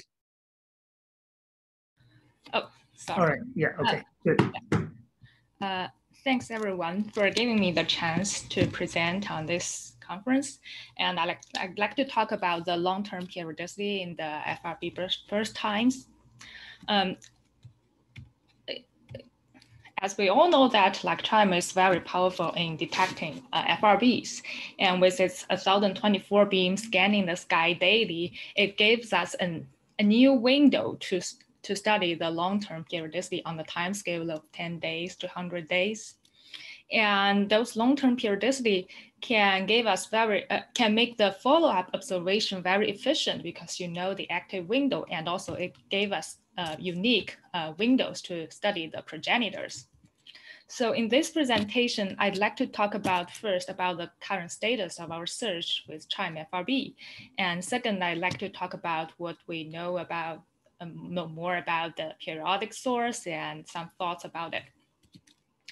Uh, so first, like, uh, um, about the search, so we are performing regular searches with CHIME FRB whenever we detect new bursts. And Aaron uh, Pearlman is my main collaborator on doing this. And we tried various methods to do the search because different methods are sensitive to uh, periodicity uh, duty cycle of different shapes. And uh, and currently, CHIME is most sensitive to, for long-term periodicity, is most sensitive to 10 to 100 day periodicity, because mainly because below 10 days, especially below five days, because of the sidereal day, like the short exposure, day, daily exposure, there will be a beat, beat of the, there will be a degeneracy between like uh, daytime periodicity and hour long periodicity. So below five days, it's it's really this window where you get lots of contamination from short time scale periodicity. And and uh, and above 200 days because we don't have enough like uh, sampling. So often you, we don't have enough active cycles for us for us to confidently claim that there's a periodicity there are some tentative candidates, but um, it's unknown that whether it's chance of coincidence or it's real periodicity. And the upper limits will get increased with, uh, with more exposure, like a longer uh, monitoring, but the short uh, the, the lower limit is difficult to get around because it's a, an intrinsic degeneracy between the short periodicity and long periodicity. And so, so this is, I specifically want to mention this because, um, because so, so for, for follow-ups, especially those regular follow-ups should consider like maybe probing this window of long-term periodicity of hour to few days, which CHIME is actually not so sensitive with. And um, the search is pretty straightforward. You just try different methods. However, the justification of whether there's a real periodicity is always very tricky because the uh, non-Poisson nature of the burst arrival times. This is a very extreme example. For example, if you have nine bursts arrive in some period, period with duty cycle with 10% with three active cycles. So if it's a Poisson case, all nine bursts are independent, then you should have uh, the, the chance of coincidences is 0.1 to the power of eight, which is uh, 10 to the minus eight, which is really low. However, if it's non-Poisson means that if the burst always emit three bursts whenever they emit burst, then actually it's, it's so easy for you to see a fake periodicity because the chance of coincidence is actually just 0.1 to the power of two, which can can can very easily uh, due to some chance of coincidence if you search more trials. So, so in order to really justify that there's a periodicity, we really need to observe enough active cycles because it's difficult to say that whether this clustering is due to periodicity or due to its nature.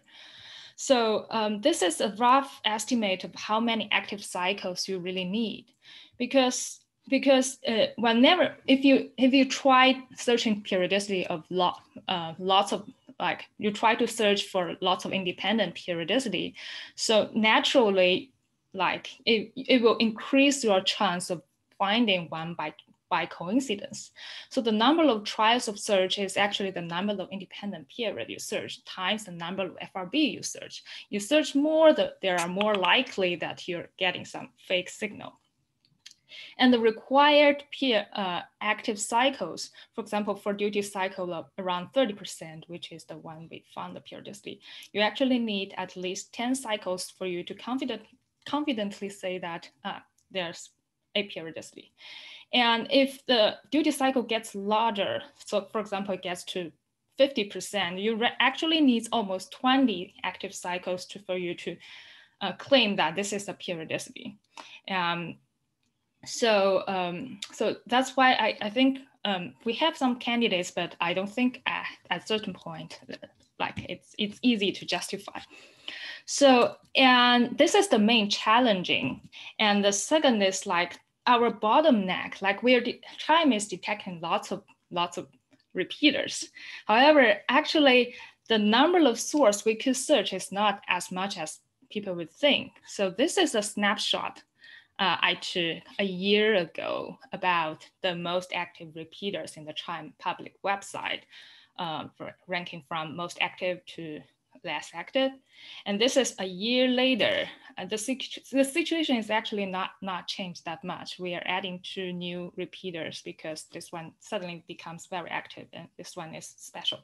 And uh, generically, you see that the number of bursts is not increasing a lot within a year. And also we're detecting lots of new repeaters, but most of the repeaters are like with two bursts or few bursts. So um, the number of repeater we could search is, is actually not that much. So at this stage, we uh, between five to 100 day, we haven't found any convincing period with other CHIME FRB repeaters. But I, don't think this at this point show that the periodicity is rare. It's just we don't have that many samples. And also for those new detected repeaters, we don't have that long like monitoring time to search for long periodicity.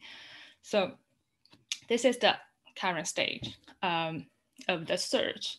But uh, but with like mm, as the I, as as time goes by, we collect more birds, we de detect more repeaters, and if there are more sensitive telescopes, there are more follow-ups, we can which can compensate us in, in other uh, parameter space, um, there are chances that we will detect more uh, periodic sources.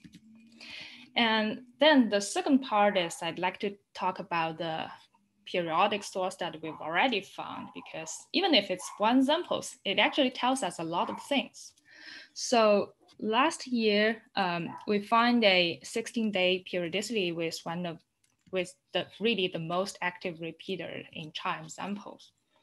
So until now we have 30, so this red line is when I first noticed this periodicity. So it's actually exactly around 10 active cycles at that time. So it's the bottom, like it's really the lower limit where we can claim that there's a periodicity.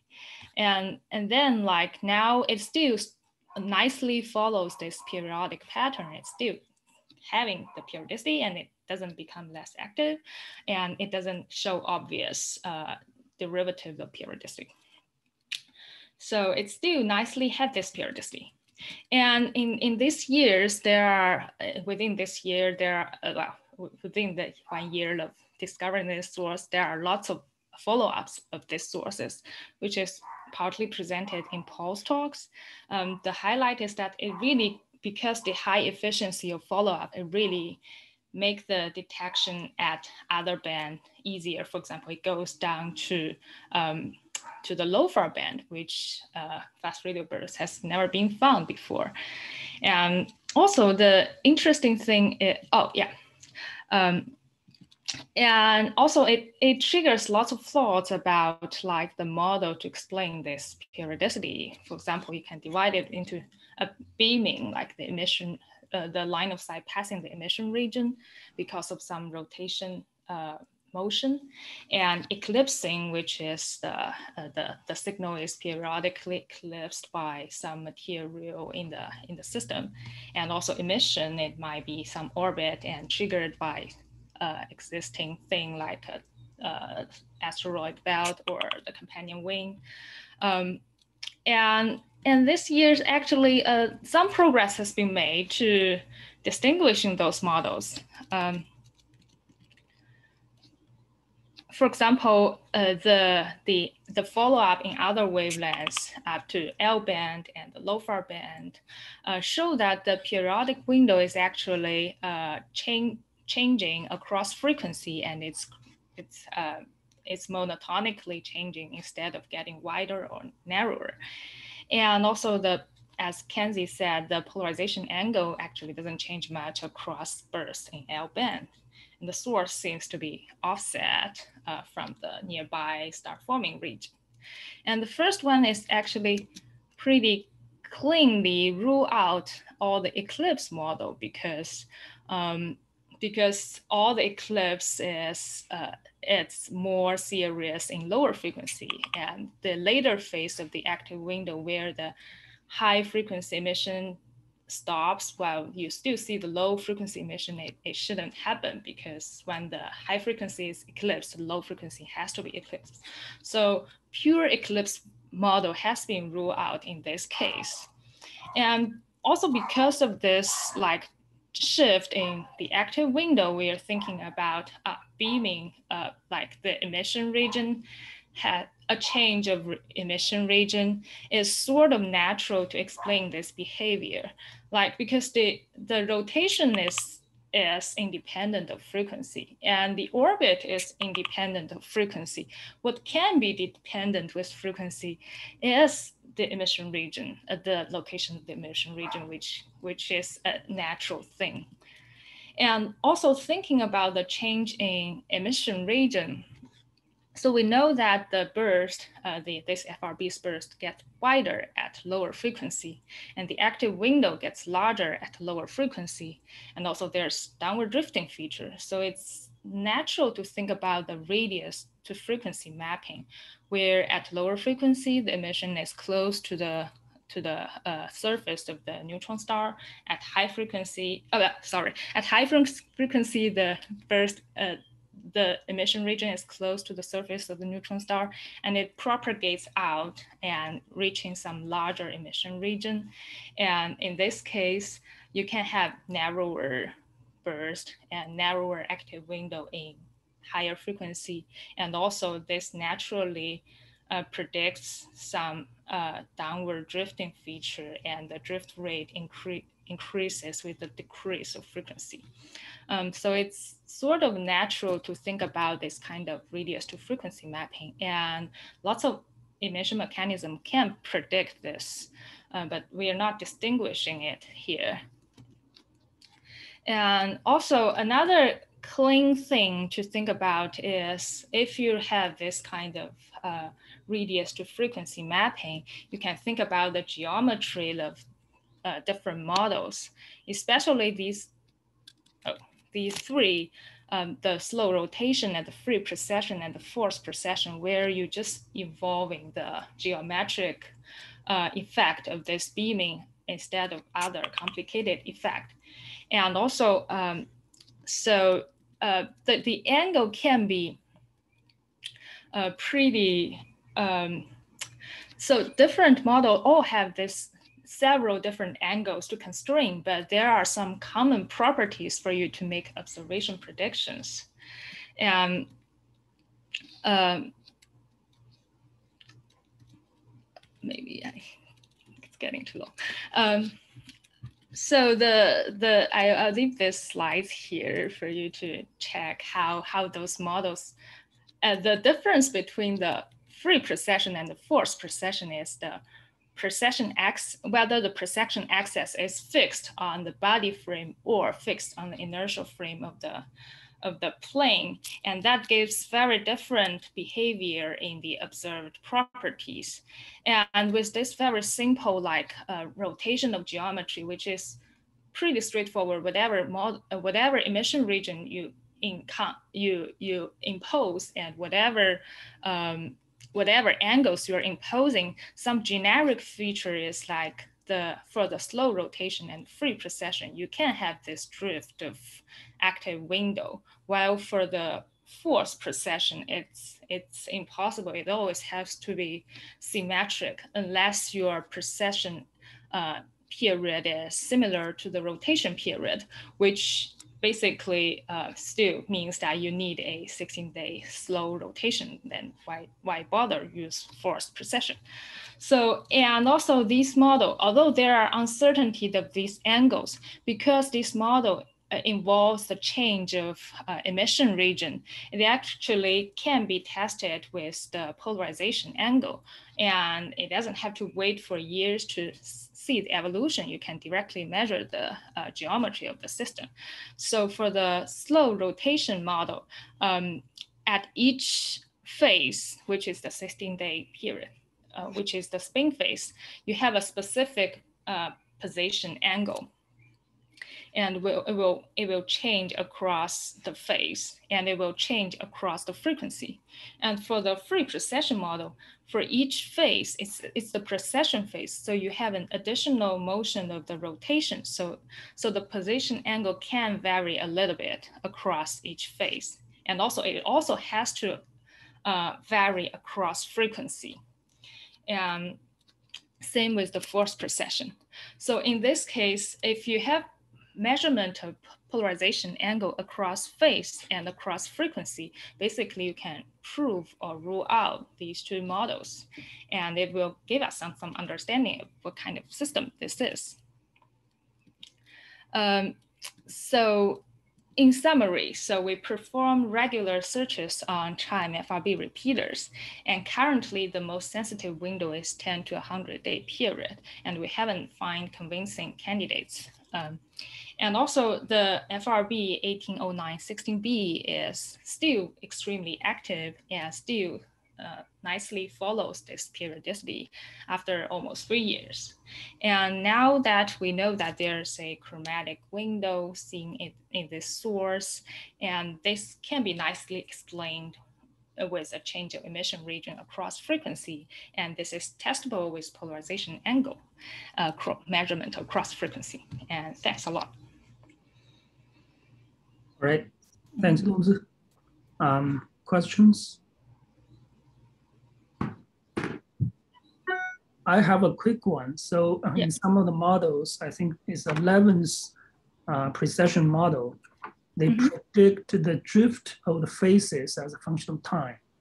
Uh, is there any evidence of the drifting or um, when do we expect to see, uh, when, when do we expect to, to test that model?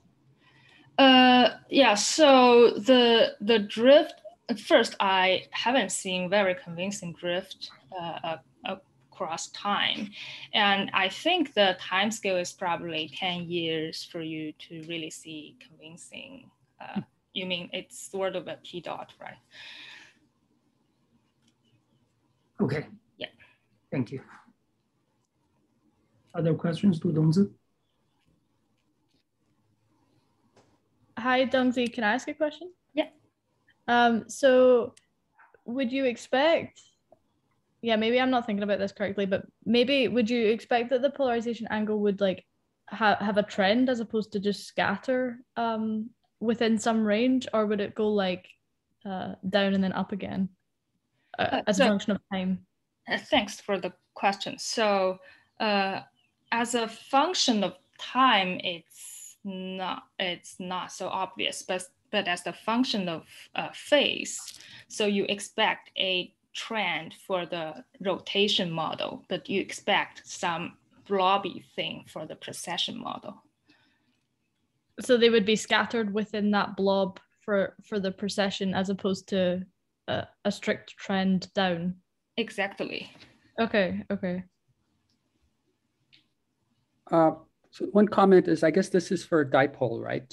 Oh yeah. Uh, uh, so uh, yes. So so when I generate those figures, I indeed uh, assume dipole field, but I think this kind of trend it's it's more fluffy if you include other quadrupole, and also it's even more difficult to just have no polarization angle change and but but it the the idea is similar so you still expect this kind of trend for the um, rotation case and this kind of blobby thing for the precession case, even if you assume other magnetic uh, configuration. So what did you assume for the emission height? I guess that's important, I suppose, for uh, what radio emission height. For the emission height.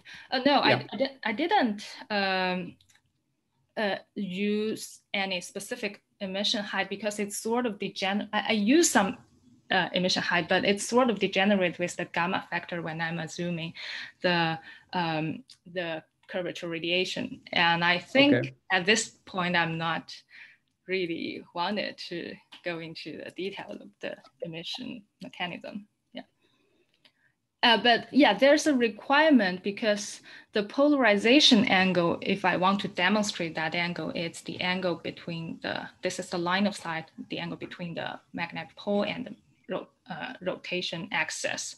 So you can imagine if the line of sight gets close to the magnetic pole, the change of polarization angle will be very large. And at a certain point, you expect a 90 degree jump, which is difficult to uh, reconcile with Kenzie's study of uh, stable PA across bursts. So this kind of uh, emission region change really um, gives you some constraint that the, the line of sight, the emission region has to be far away from the magnetic pole. It's not circumpolar, it has to be far from that, which is surprising that uh, if you have to work out in this way, it has to be far from the magnetic pole. All right, uh, thank you, Dong. So we need to move on. Uh, Vicky will chair the rest of the session. Vicky, so please take over. Okay, um, thank you, thank you, Bing, and I'm happy to be chairing the remainder of the session. The next talk will be by Zorawar Wadiasingh on magnetar short bursts, um, the low twist model. You have, uh, can you see, can you yes. see my screen? Yes. Okay. So this is uh, basically a talk on the low twist model and some uh, phenomenology on, on, on short bursts. And so it's some of it's in these papers, but I'm also going to show some uh, new results. And it's work with Andrei Timokhin, Paz Beniamini, and others. Um, so the thing I think that clinches it for me that uh, say FRB 121102 is a magnetar is that the arrival time statistics are very magnetar-like. Not just, it's not just, so, so in this plot, I'm showing the arrival time versus the waiting time between subsequent bursts. And it's not just this, this log uniformity or log normal here. It's also this log uniformity in time. And just for comparison, this is a Magnetar uh, 2259, uh, the short burst from it, and you see it's quite similar. Um, so the, the real unusual thing is this uh, sort of uh, uh, log uniformity in arrival times. And that's very strange in astrophysics. And the only place you see it in nature is earthquakes and solar flares and magnetars. So this is, I think, sort of a smoking gun that at least 121102 is an isolated magnetar of some kind, or at least the bursts are magnetar-like, or the, presumably the same trigger. So what are magnetar short bursts? So if, if magnetar short bursts and FRBs have the same trigger, we have to understand magnetar short bursts, which is where most of the energy is. Um, so this, these are showing some typical magnetar short bursts, and they're, they're called short bursts because they're short. And they're much less energetic than giant flares, and they can occur in storms of hundreds, and they're fairly soft usually, but it can go up to several hundred keV. And uh, here are some examples in the X-rays and hard X-rays. So spectral analysis of these short bursts shows that uh, at least for some storms, like this is, I think, uh, uh SGR 1550, um, the, the spectral analysis, when you do the actual uh, uh, analysis of each burst, you can fit them with uh, double black bodies. And these double black bodies have two different areas uh, and two different temperatures. But if you look at their luminosities in these two black bodies, they're fairly similar. So that is very unusual in itself. And that implies that it's some sort of, uh, these two black bodies are talking to each other in some way. And so that means that it's probably in a closed zone, confined in a magnetosphere. And uh, and the bursts are such low energy that you can uh, easily maintain magnetic dominance. So that, that means that nothing is really going out. You may have these fast magnetosonic modes that uh, some people like to invoke, but in general, it, it's confined. Um, so this is sort of a general uh, cartoon. You have the burst and you have, this is fairly common picture and you have a trapped fireball in the closed zone. So it is away from the pole a little bit, but it could be quasi-polar still. Uh, and you have different radiated processes going in. Um, the other interesting thing about magnetar short bursts is there's, there's this sort of universal power law, uh, event size distribution for them like earthquakes. So it's, a, it's analogous to the uh, Gutenberg-Richter law for earthquakes. And the index for magnetar short bursts is about minus 1.7 for the number, the differential rate, uh, differential distribution. And this is first noticed by Chang, and this is some other examples where you see this. And it's universal between episodes and individual magnetars and across different magnetars. And it's possibly related to how the crust uh, uh, undergoes failure, similar to earthquakes. Um, okay, so this is a new result. Uh, this is magnetar SGR 1830, and this is the this has uh, been submitted. It's the first result of uh, what we see is the periodic windowing of bursts, the hard X-ray bursts or the soft X-ray bursts. Um, so the gray here is the surface thermal emission in the magnetar. And the histogram here is the number of bursts as a function of phase. So this is the first time, at least at high significance, it's been demonstrated that the magnetar bursts can be periodically windowed. And that implies uh, it's, it's occurring very, very close to the surface. Um, but before I go that, okay, so what's happening here, or what should I say, is that the surface thermal emission here is beamed in a magnetized atmosphere. In magnetars, you have a magnetized atmosphere, and well below the cyclotron resonance, which is what's relevant for soft X-rays, um, the, the cross-section is suppressed. And what that means is that you get these sort of pencil beam-like structures um, for the for the X-rays. And so this is sort of quasi-polar and the bursts are sort of quasi-polar, at least it seems that way, but they also have to be low altitude. Uh, so uh, this is some uh, ray tracing simulation. This is just showing that even at one stellar radii, you cannot hide a burst behind. Um, so this is uh, just showing different quantities for the ray tracing simulation. The relevant thing here is just that you can see the whole burst even if it's behind you, behind the observer. The other, okay, this is just showing that uh, there's other effects like time delays and energy dependent time delays in the x-rays that will be interesting to probe uh, later on, but it's not that relevant to this talk. Okay, so going on to the FRB uh, stuff. So we don't know exactly what the pulsar emission mechanism is, but we know it works and it requires some sort of low entropy plasma. Um, and we know there's a pulsar death line. Um, and we know that the necessary condition for pulsar emission is the pair cascades.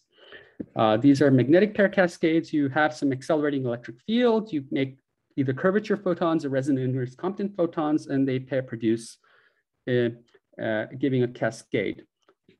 And uh, it turns out it could also, this necessary condi condition could also be a sufficient condition um, because uh, Andre, way back when, showed that the, in these non in these pair cascades, you have non-uniformity of the discharges. So the, the process is inherently uh, non-stationary. This is just showing the phase space in 1D. In 1D, you can actually resolve the scales in a sort of a pulsar-like uh, parameters. Um, this is just showing the, uh, the electrons, positrons, and the photons. And the bottom panel here is showing the electrostatic waves that you get in the simulation. And the interesting thing here is that these electrostatic waves are superluminal, uh, uh, where these lines are just is the speed of light. It, this has now been demonstrated in 2D and in, uh, with, uh, in, with the Sasha Philippov, and there you require the pair formation front to be uh, at an angle, and you also get these waves, and they're electromagnetic O modes rather than the electrostatic ones that I think was talked about in a previous talk.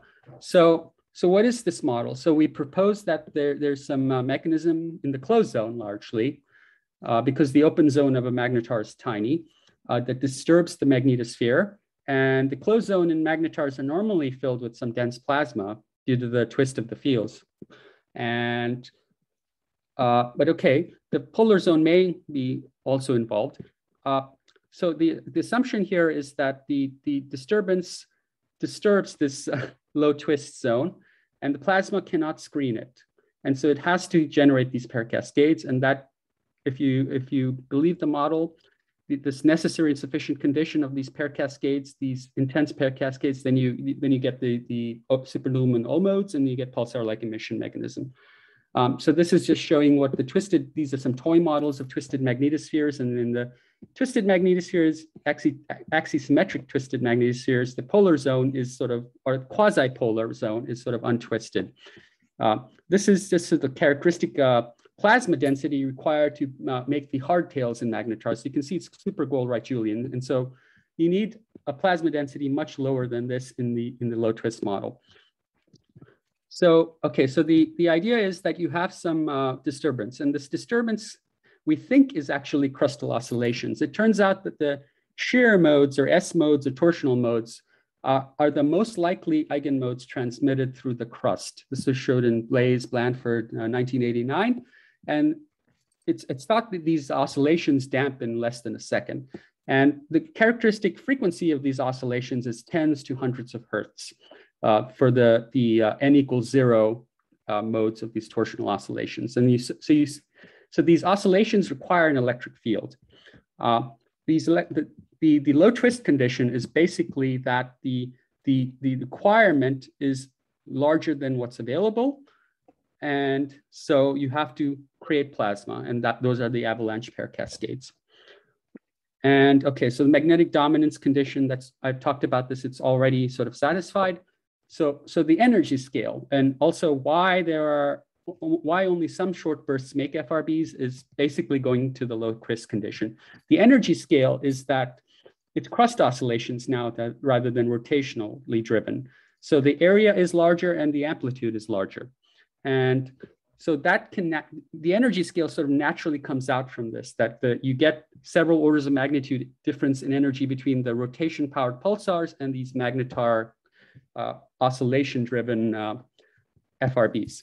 The other interesting thing is that the power law, this universal power law between the, the short bursts and the FRBs that you see, the, the, for, for example, this is the chime repeater, um, the, the efficiency has to run uh, with energy so that the efficiency is not constant. And if you assume that, and of course we know that the magnetar short bursts are quasi-thermal, so they're sort of calorimetric to the energy. So if you assume that, that, that the, the, the short bursts are sort of scaled with the Poynting flux of the oscillation or disturbance, then you can naturally get a much steeper power law if, you, if the, if the pulsar-like emission mechanism goes as the voltage. Uh, and this voltage scaling is also seen in pulsars. So, so if this universal power law is there, in magnetars and FRBs, then the natural uh, power law for FRBs, at least at the high energy limit, is also power law, but a steeper power law. Uh, so you, once you have this sort of correspondence, you can play games with the luminosity function. So if, assuming a single eigenmode, now it seems like in Di Li's talk that you have sort of islands of energy, right? And so it could be multiple eigenmodes going on. But okay, a single eigenmode, you have a fairly narrow luminosity function that some cuts off somewhere near 10 to the 36 or something of that order, assuming no beaming. The beaming could also play a role. And in this case, if the, if the twist is low, the limiting thing is the Goldreich-Julian density. So long periods are preferred for FRB production. You can get a death line like this, assuming magnetic dominance and the low twist condition, and you get a minimum period because uh, that that's basically you, you have too much charge density once you go below this period.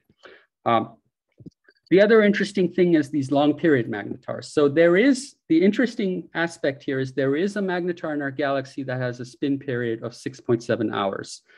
And so the idea here is that perhaps these other long periodicities are these slowly rotating magnetars, and that constrains the emission mechanism because, uh, for example, Uri's model of the current sheet reconnection doesn't work if this is the case because uh, there is no current sheet in a very long spin period magnetar. So if you see radio emission from a very long spin period magnetar, that sort of rules out the sort of current sheet reconnection model for radio emission in that system.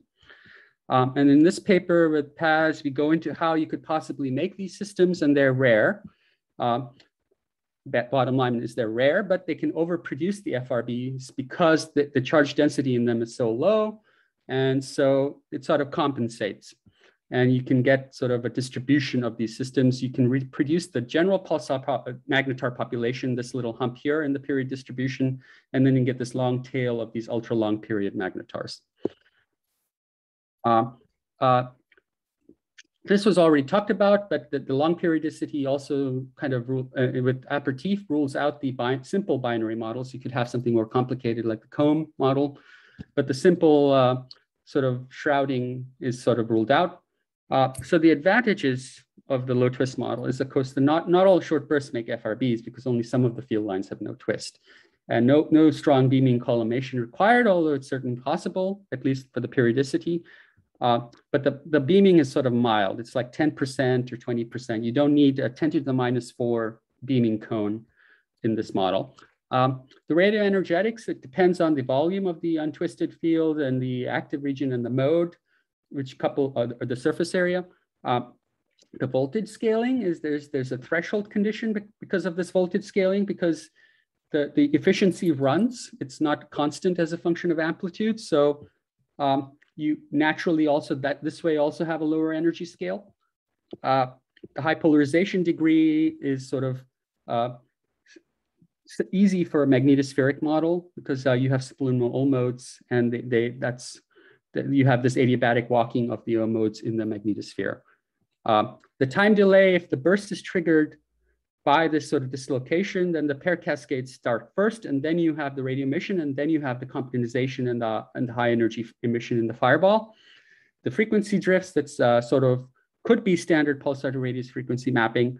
And yeah, so then the crustal oscillations, I think is very interesting. It could possibly be something uh, uh, that we can uh, actually use to constrain the, the neutron star equation of states. So let me talk about SGR 1935. So as I mentioned before, the surface thermal emission here is beamed because of the, the radiative transport in the surface layer. So this is pos, pos the field here is sort of parallel to the observer when this when you see this peak in the X-rays. And so the, the, that fact that the FRB is sort of coincident with this is, I think, strong evidence for a, ma a magnetospheric model um, origin for the burst and also uh, sort of a closed zone associated with this active region. Now, in the right panels here, you can see that there were lots of bursts. Although there were only 200 or few hundred observed, uh, you can see the time sampling here was not uniform. There were probably thousands of bursts that we didn't see that occurred during this time. And there, there's some storms here as well. And uh, uh, so as mentioned before, the burst time properties are very similar to other magnetar bursts. Only The only interesting aspect here was that the, the uh, the, the, burst was more spectrally extended and softer. Uh, and that, that probably points to a sort of quasi-polar origin of the burst location. The, the most interesting part, I think, is that the, the radio was pre, radio preceded the hard X-rays in INTEGRAL by a few milliseconds. And that's exactly what you'd expect if the pair cascades happen first and then the comptonization occurs. The other interesting aspect here is in the HXMT uh, data preprint, I, I, guess it's still a preprint. Uh, the second version of it shows this, this sort of very interesting QPO-like structure here in the, in the medium energy band where, and it turns out this is also least affected by dead time. And this period is 30 to 40 Hertz. And that's exactly sort of what you expect for the L equals two, N equals zero torsional mode. Um, for a sort of a standard neutron star. So, so that's the FRB transit because you see two, two radio pulses here. Um, so you, of course, you see radio, some FRBs with radio pulses and, in, in trains, and also in the waiting time distribution, Di Li also showed this. You have a very strong clustering at low. You have a gap here and then sort of a cluster at low waiting times. So, so the fact the fact that there's a gap there is also significant. And then you have this cluster of low short waiting times. And that we think is the crustal oscillation signature. And you see the crustal, these QPOs in magnetars. So this is the, the giant flare tail of SGR 1806. And you see these discrete, these discrete bands of QPOs at 30 Hertz, something at 50 or 60 Hertz, at 90 Hertz, and then even higher. And this discrete band is also only seen in preferential rotation phases. So it's something close to the surface and it's it's exciting the magnetar in these discrete modes, torsional modes that are most easily transmitted through the crust. Uh, so um, these are some models of uh, what you'd expect for different equations of state. And uh, for so it turns out here you need a crust and a, and a core equation of state because the crust is the key here for the torsional modes. And the, the, key thing to remember for FRBs is you also have to correct for the redshift. Uh, so this is some uh, pre very preliminary data we plotted in this paper. And okay, this is just showing the sort of the equation of state dependence of these, these modes. So the higher mass, higher, higher mass ones have lower modes for this fundamental uh, 2F0 mode or L equals 2, uh, N equals 0 uh, mode, torsional mode. And it turns out if you introduce some magnetic fields, the mode frequency rises. But uh, for this B, B mu here is the, the scale where the, the energy density of the uh, in the crust is sort of equal to the, the in the ions is equal to the sort of binding energy. And so this is about 10 to a few times 10 to the 15. So most magnetars are in this regime here. Only very extreme young magnetars would be in this regime.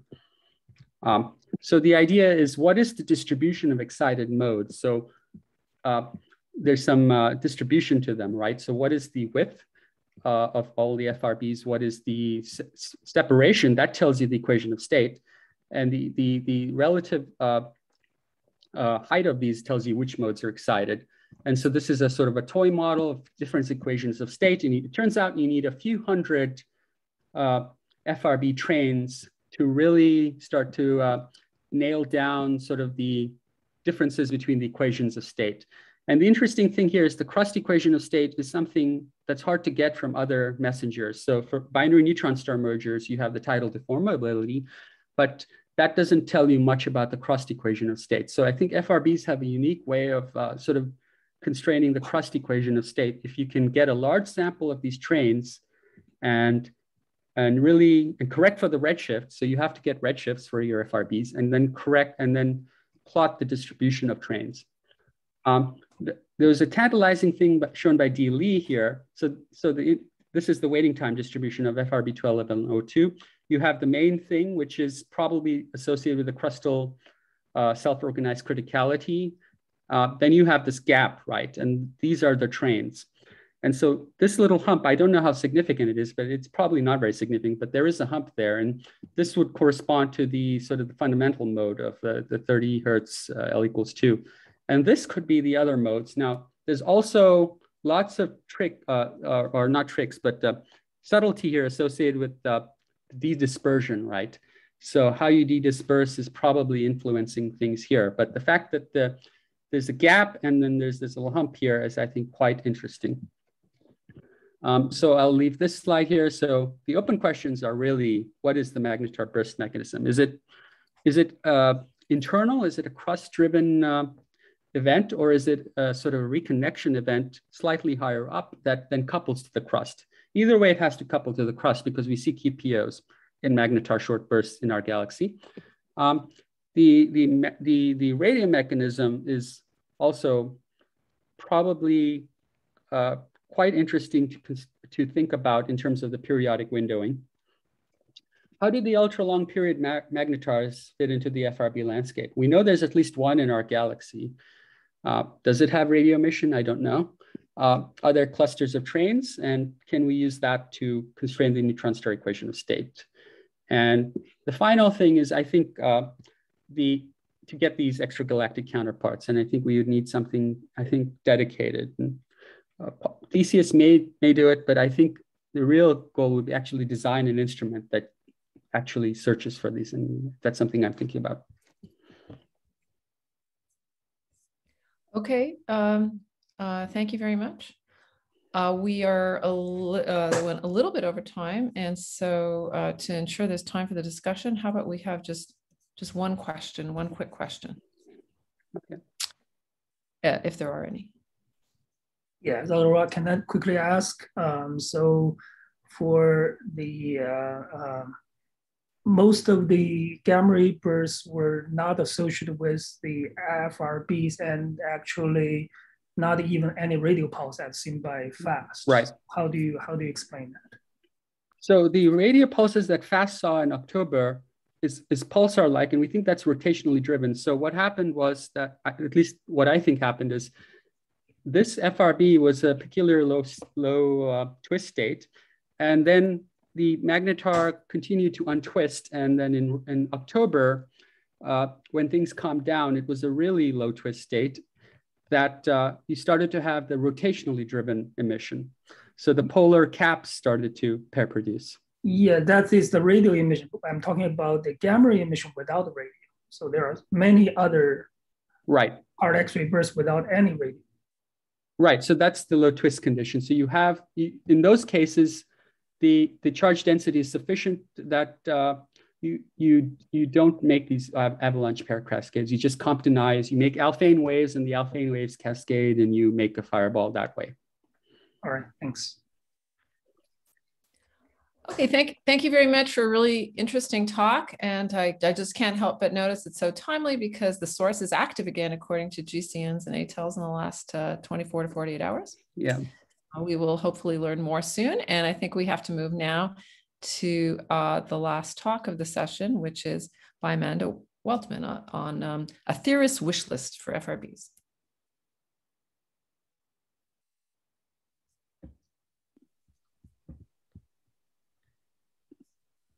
I am sharing screen. Okay.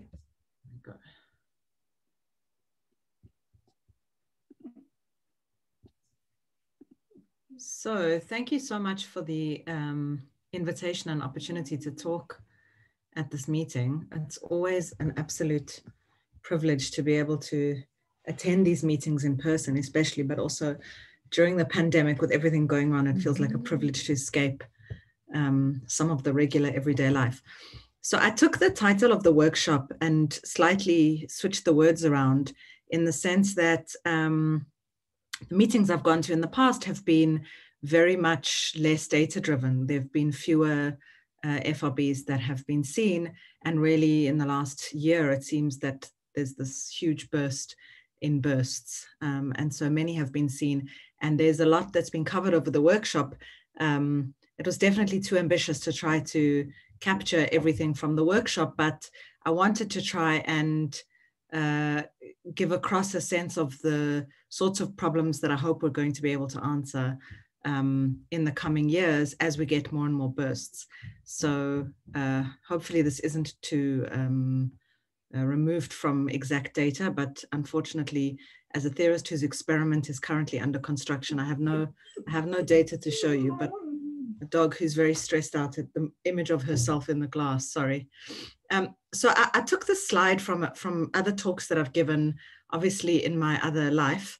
Um, and I just thought it was interesting to flash up to show that th this is the list of problems that I've been interested in in the course of my career, that they haven't really changed much. And most of them are, are unanswered, uh, maybe unanswerable.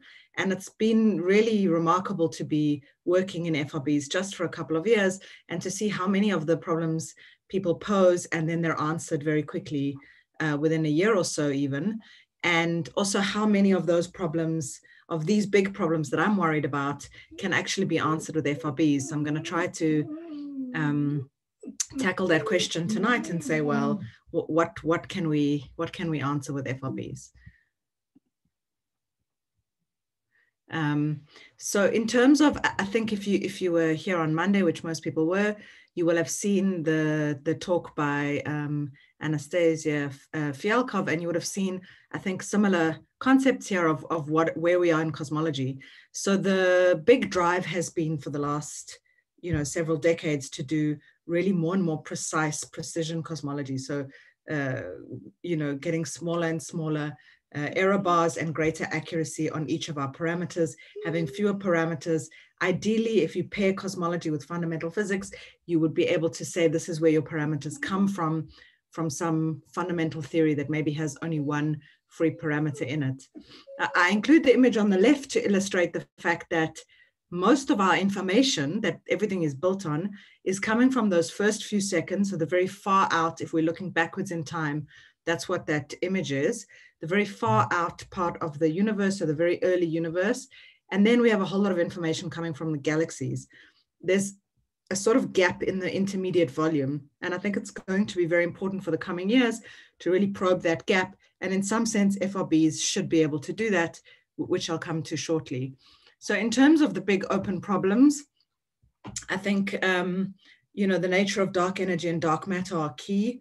What is the driver of inflation is, is also key. What happened to the missing baryons, a problem I'll mention a little later on, but has essentially been resolved, I think, by FRBs, which is quite remarkable.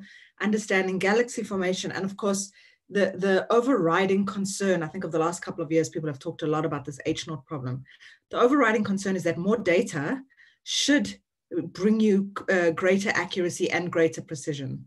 It's not doing that with the Hubble constant. So over the years, um, I'll show you this just because it's so nice to see all the data squashed onto one image, but over the years, instead of there being a convergence on what H naught is, uh, there is a divergence. So the, the, two, the two original uh, estimates were within error bars of each other and they've just gotten further and further out. The error bars are getting smaller, but so are the central values. So instead of moving within each other's error bars, they're moving further out. So that's a that's a big problem for cosmology. So we've we have gone from an era that was completely philosophical, you know, Einstein's beliefs almost, uh, almost towards total precision, where we're observing and we're able to say really uh, clean things about uh, parameter estimates, but um, the the extra data has not moved us towards the concordance that we expected, certainly when I started working in the field um, more than a decade ago. So let's look at some of the big problems one by one and where FRBs are bringing uh, power and, and great use. So dark matter, I'm sure the, the all of you understand how dark matter has been understood over time and why we believe so much of it exists. What's quite remarkable is that the physics is actually extremely simple, right? You can explain this to the general public. You can explain it to first year students, just the way we, we measure the total, we measure the total mass um, of a system by just looking at the velocity of the objects far out and the prediction without dark matter just doesn't match what we observe. And so it's really quite remarkable how simple the physics is there. And yet with this simple physics from you know 1930s building up to the 1970s relatively simple observations. We've got nowhere actually in in our progress in dark matter. So in terms of theories there's a host of theories. This plot is just one. There are many different ways that people try to organize their theories of dark matter. They're all terrible. Uh, none of them actually capture in any real sense where we are because essentially dark matter there's no good theory. That's that's the honest appraisal. That's my honest appraisal. There's no good theory for dark matter. There's no theory that sort of descends from any uh, gravitational theory that feels believable. Everything is ad hoc. There's no direct detection. So that's also just a, a great failing on the part of us as, as particle physicists in the sense that we've built these amazing detectors and every single experiment finds that dark matter is easy to evade. So we just, we haven't seen it in any direct detection experiments. So the only real tool we have is indirect observations. And we have to come up with new observational tools because the ones we have are not getting us uh, very far. And so FRBs are remarkably powerful in this sense. So the specific example that I bring here, and um, I want you to see that there's big progress between the theory idea and the experiment idea just in a couple of years. So in 2016, uh, uh, Julian Munoz and others put out this very nice paper that explained that if dark matter is compact objects, then we would be able to see uh, dark matter with transients, right? In particular, with different kinds of transients, but for the purpose of this meeting with FRBs, in particular, the FRBs would have echoes or they would have um, uh, repeat re repetitions. There would either be lots of them or just a double peak, so like an echo, depending on the kind of lensing effect that's going on compact objects as dark matter were not particularly compelling. They were just possible. And uh, it was already ruled out that they couldn't be more than 35% of the total dark matter. So maybe there's some. What made them quite compelling in the last few years is the fact that the LIGO Virgo uh, energy range for black holes happens to be 10 to 100 solar masses. And so that, that range is very poorly constrained. People weren't that interested in it because we didn't really expect to get that many black holes in that range. And yet it turns out that that's where we are seeing them, possibly in uh, observational bias, but that's where we're seeing them with LIGO. So the possibility of primordial black holes that we, that we hadn't really thought about very much uh, being a compelling dark matter candidate is back as a possible dark matter candidate. And it's exactly that range that FRBs would do so well at constraining. So since this uh, proposal, there were two papers last year, one of them with actual ASKAP data, where they show that using the substructure in these very short timescale uh, bursts, you can, um, if you have enough of them, sort of 100 plus, you can get new and better constraints on these macho constraints, on machos just being compact objects uh, that, that would serve as dark matter. So the redshift range there is of course because that is the where ASKAP was able to observe these FRBs. The other result showed that using all known FRBs, now bear in mind this was uh, I think June last year, so there were only 110 FRBs at that point. If you were to do this again today, you have I think 500 plus that are published. And so it's a different story, right? But they are able to sort of break the degeneracy between substructure and lensing. So I'm going to show you some pulses later, but I'm sure you've all seen this in your own data. There's all the structure in the FRB. And so you might think in the pulse, you might think that that is, um, you know, one pulse that's now lensed. Is it an echo or is it actually intrinsic substructure? And to do that, you need more data and they, and they explained that they use dynamic spectra to do it. And there's no evidence um, within existing FRBs. They literally looked at the pulses of every one of these 110 FRBs. So I think there's a lot of exciting stuff for the future here. We're going to get much better constraints when we have more FRBs. Shorter lived FRBs should give us better constraints and obviously higher redshift. So right now, the, the bulk of the uh, FRBs seem to be in, in low redshifts, which is not surprising, right? It's easier to see things that are closer to us. Um, but if we're able to get a lot of them at high redshifts, we should be able to do a lot more. And I think this process is going to have to be automated to a large extent. There's no way to look at all those shapes one by one and, and you know, make uh, and analyze them once we're talking thousands. So far worse than the situation with dark matter is dark energy. Dark energy is even less well understood. It's more recently um, accepted. So in the 80s there were hints, but it was only in the 90s.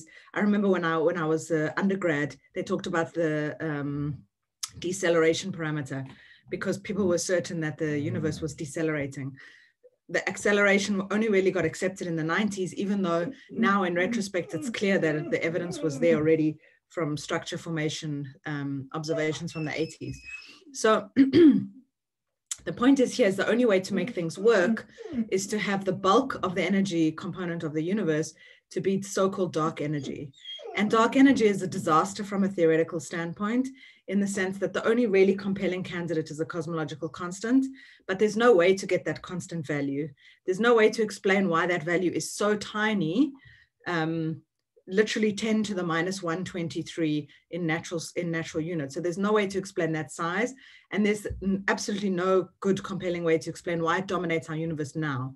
So if it had dominated any earlier, structure wouldn't have been able to form. We wouldn't be here to ask the question. If it dominated any later, um, if it dominated any later, we wouldn't see it right? So it happens to switch on at a time scale that we can both exist and observe. It just seems far, far too unrealistic and unlikely. And so dark energy is an even more embarrassing problem in some sense in cosmology that we've made relatively little progress on, in part because there are degeneracies in our data. Most of our data comes from the early, very early universe. So there's degeneracies with expansion rates and with curvature. And in part because we just don't have good theoretical candidates and direct detection experiments are extremely limited, much worse than dark matter. So again, this is a fantastic opportunity for FRBs, I think. Um, for the most part, the, the, what I'm saying here is actually forecasting. I can't give you uh, results papers yet. And that's because I think to do a really good job, you need enough uh, bursts, ideally at high redshift. So you want to be able to ignore local effects and you want to be able to push out to very high redshift. So that's really um, the ideal, that's really the ideal goal. And if you could get sort of tens of thousands of them with known redshifts, you could do better than baryon acoustic oscillations, which is really a big statement, especially for those of you who maybe landed up working um, on experiments like CHIME that have the second half of the experiment is actually a BAO experiment, like CHIME and HIRAX is the same, you realize that actually the transient part might be able to contribute as much to cosmology as the cosmology part. I think that's really a, a, sort of a key insight and it might explain to you why as a cosmology person I'm more excited about the FRB side of our cosmology experiment. But the other central point is that if you if you are willing to uh, go to some work and cross correlate, put together the data that you have from the CMB and BAO, and then also, so that's old data and data from nearby stuff, gravitational waves and FRBs, you should be able to get far better constraints than we already have on both dark energy and on the Hubble constant. So the Hubble constant is not very much discussed here, but uh, once you have multiple um, multiple sets of data, you can get your, your, your ellipses orthogonal, and so you can break degeneracies that you cannot do with the CMB alone. So again, to do better here, we need far more FRBs, ideally high redshift FRBs. I don't know how unrealistic that is. I would love to, to know. Um, and if you can get them to be associated with other objects, that's also very helpful. So if you can take, so the cross correlation data that CHIME have done, if you can do that with, with other uh, uh, objects in the sky, so GRBs or possibly even quasars, you can get other information that will allow you to do far more uh, for dark energy. So um, another big picture possibility is fundamental physics questions.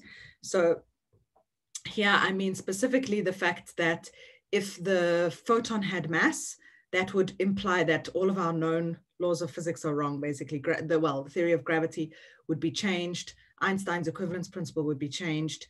Um, and we would need a new, a really a new theory. So there's the possibility to both test the mass of the photon and to test the weak equivalence principle. So there the photon is still massless, but um, at different energy, photons fall at different rates essentially. So just a reminder of what the weak equivalence principle is, it's the same as universality of free fall. So the old um, Leaning Tower of Pisa experiment, you drop two objects of different type and if they fall at a differential at differential acceleration, then you would be very concerned. You would say, well, there's some extra force between them that's making one of them fall faster. Their, their intrinsic comp composition should not make a difference. And so on cosmological astrophysical scales, you can do this with photons. Essentially, photons of different energy would follow different trajectories and you would get a slightly different time delay.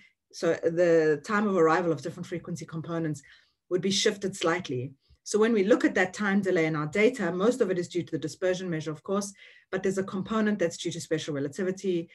There's a component that could be due to the photon mass if it had mass.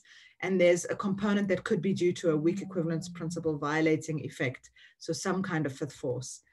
And you know, with the discovery of the substructure in 121102, it became possible to get new best constraints on both the mass of the photon and gamma 1 minus gamma 2, which is the weak equivalence principle violating component. That's the Shapiro time delay essentially between the two. You can do so much better if you have lots of FRBs, if you're able to look at all the substructure. So 121102 is so well studied, but there are now a whole bunch of repeaters from CHIME. If you study some of those and their substructure more, you may get far better constraints than uh, we already have. So that's really quite exciting.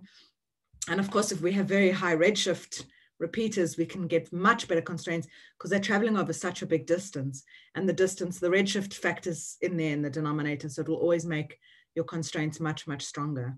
So I think there's a lot of very, very exciting stuff to do. I, have included, I don't want to explain uh, the details of FRB 1102, 121102 to an audience that knows more than me on every detail, except to show you the importance of understanding um, the structure. And when I look at these, this, this has been a real awakening for me to understand that what looks like a pulse from far away, when you zoom in on it, the pulse has these details within it that are either telling you something about the environment or they're telling you something about the physics between us, the environment between us and the source. And figuring out how to break that degeneracy for multiple such objects is going to be very important. So I have all the pulses from um, this particular observing campaign, and you can see they all look different. I just, it, it, it's a confusion to me as to why and what that's telling us and what we can learn from it. Most of them have that sad trombone, but it's not not necessarily all. So I don't think I've heard the sad trombone mentioned today. Maybe I missed it. So hopefully one thing you've got out of this is the importance of probing the full cosmic volume. So we know a lot from the very recent universe, we know a lot from the very early universe, but that whole stack in the middle is giving us the potential to learn a lot and we need to figure out how best to probe it. So intensity mapping will be one way and that will be uh, extremely powerful.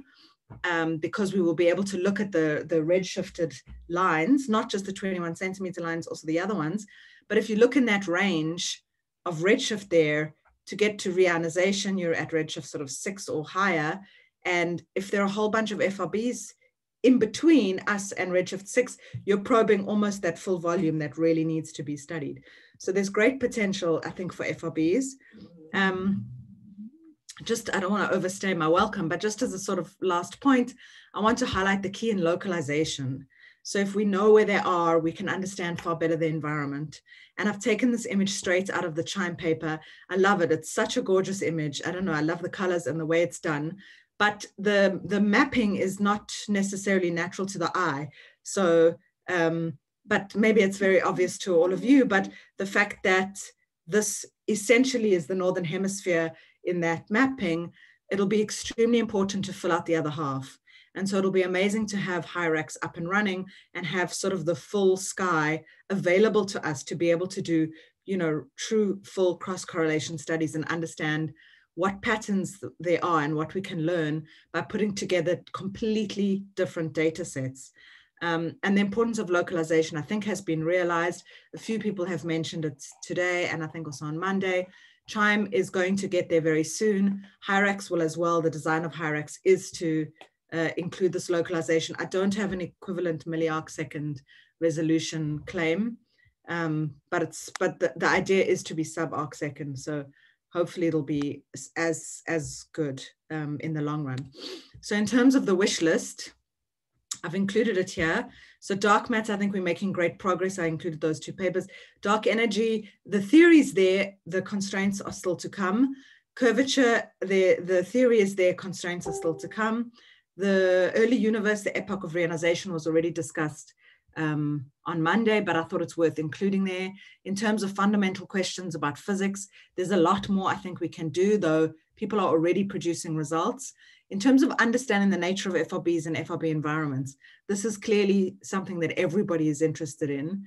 Same with FRB morphology. Everybody's interested in this, and this will come naturally on its own, I think but it will teach us things maybe that we hadn't really thought to ask before.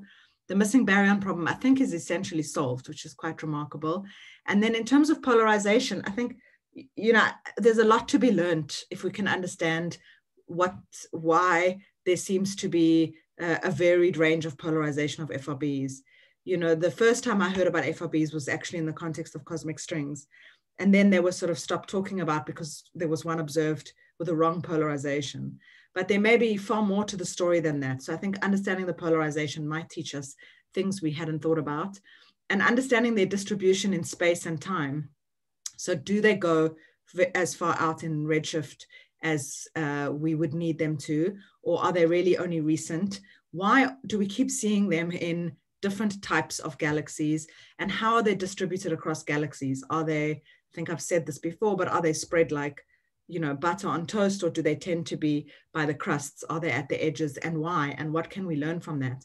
So I think that understanding those things will come with fantastic localizations, huge amounts uh, more data, and just a sort of willingness to ask lots of questions. I'm always reminded of the fact that we keep, we've done so many studies on what's going on with FRB 121102, and now there are so many more repeaters since then, but there's not been any of the depth of studies. So if we can shift away from the observational bias and study in some equal way what we get, then I think there's going to be great uh, potential for progress. And I love this quote uh, by Dirac, but I would just change it in this context to if you are receptive and humble, the data will lead you by the hand. So yeah, hopefully I haven't pushed the discussion to be too late. Thank you again for having me. Okay, thank you very much, uh, Amanda. Very, very interesting talk. Um, I do want to leave the. Hello, sorry. Splendid talk. Yes. Thank you. Thank you, Rima.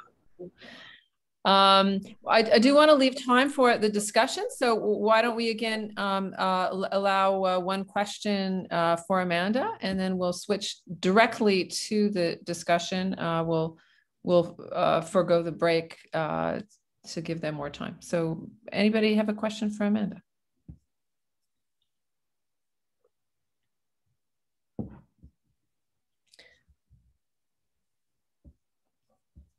Um, I did have a comment or a, the um, for for Chime and um, uh, we do have a student uh, looking uh, at GRBs uh, to see if there's any um, uh, coincidences. Alice Curtin and Shriharsh Tendulkar are looking at that, and so far we haven't actually seen any. I see Stefan also has a, a, a question he wants. Stefan? I don't. We don't hear you. I think you're on mute, Stefan.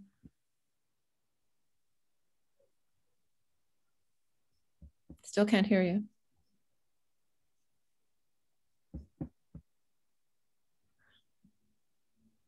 Uh, My device does this to me as well. The Zoom takes over the microphone and then it's gone. Okay, so perhaps I'll write it later. Uh, if there, I don't uh, see any other. Ah, okay, go ahead. Yes, please. So, sorry for the delay. Um, yes, you mentioned the fundamental physics part. You, uh, you mentioned that the we have to have the time delay. How can we distinguish that from the normal dispersion? Is it because it's a different frequency dependence, or could you like look at different redshift scaling of this effects? So the, the bulk of it is going to come from the dispersion measure. And then you need to look, so then you, if you're looking at say a whole peak, you assume that whole peak has really arrived at the same uh, DM, and then you're looking within the substructure. So you get terrible constraints just from a peak. I think it was the realization by Jason that and others, I guess, that there was substructure in the peaks that allows you to get better constraints. Um, that's one option. The other option is uh, looking at different bursts. So photons from different bursts, you get much weaker constraints comparing two burst photons to each other. So there are multiple things you can do there. And I think, yeah. Okay, very thanks. People are going to do even better. Okay, um, thank you very much, Amanda. I think we have to move directly to the discussions because since we don't have a lot of time left for that. Uh, we had three um, discussion leaders who were identified, and I'm going to propose we proceed uh, by each of them uh, uh taking, uh, say, one or two minutes to put forth their discussion questions, what they would like to discuss, and then we'll open the floor uh, to everybody to jump in and tackle whichever of the questions uh, they think is uh, particularly interesting. Um, and so for the discussion leaders, I think we can go alphabetically by, by surname, uh, just because that's a reasonable way to go. And so I think that makes the first, me the first person. Yes, you'd be, go first. So please go ahead. Cool. Manisha Caleb. Yeah. Uh, I have a slide. Whoops. Got it. Um, can you see my screen? Yes. Okay, brilliant. Um, so as a community, I think we've come a long way in the last decade. So we've gone from questioning the very nature of FRBs to uh, building um, global collaborations uh, to study them. But we have had a head start in terms of lessons learned because uh, we've managed to uh, learn things and get applicable examples from other fields. But now that we've entered the era of almost routine localizations, we're getting um, localizations from telescopes, which have excellent UV coverage, uh, like MeerKAT and ASKAP, but we're also targeting repeaters um, in the case of EVN. But there's only that much you can do with a radio position Uh, so we definitely need deep photometric images as well as uh, spectroscopic confirmations. And a good example of this is the host galaxy for um, R3, so 180916, uh, where HST images showed that the FRB itself was offset from uh, a region of star formation. So to really make progress on the front of progenitors, we're gonna need multi-wavelength and multi-messenger observations. And for this, we're gonna need next generation telescopes which also kind of ties into my question about uh, redshift distributions, because Amanda said we're now in the era of precision cosmology because of the unique DMZ relation, but we don't quite know how far uh, in the past can we actually detect FRBs. Um, the other thing is we're finding repeaters and we now know they're more common than we previously thought when the first repeater was detected. And we're also identifying long-term periods. A couple of them do have long-term periods, but do all repeating FRBs have long-term periods and how we're going to study or probe these um, activity windows as a community? I think that's another question that I had. That was it from me. Maybe Daniele wants to go next. Uh, yeah, sure. I also have a couple of slides. Um, thank oh, you. Yes. Um, okay, I hope you can hear me and see the slides yep. fine. Yeah. Um, so um, uh, I have uh, identified a couple of uh, questions from the talks of yesterday. And uh, the first one is that uh, I, um, I redshift fast radio burst are extremely useful for cosmology and fundamental physics, but uh, at the moment we only have uh, one that may be as a redshift uh, of around three if uh, all the, at least most of the DM is from the intergalactic medium, which is of course not um, guaranteed, and only 10 that may have a, a, a redshift above two. So why are, are we not detecting more of this IZ uh, fast radio burst? Is it only a problem of luminosity? They have some luminosity uh, limit and uh, to uh, to show this, I've plotted uh, uh, the FRB stats website there, the fluence of detected fast radio burst as a function of DM. And it's true that there is some uh, cutoff there, but it's not so uh, extreme as I would have expected.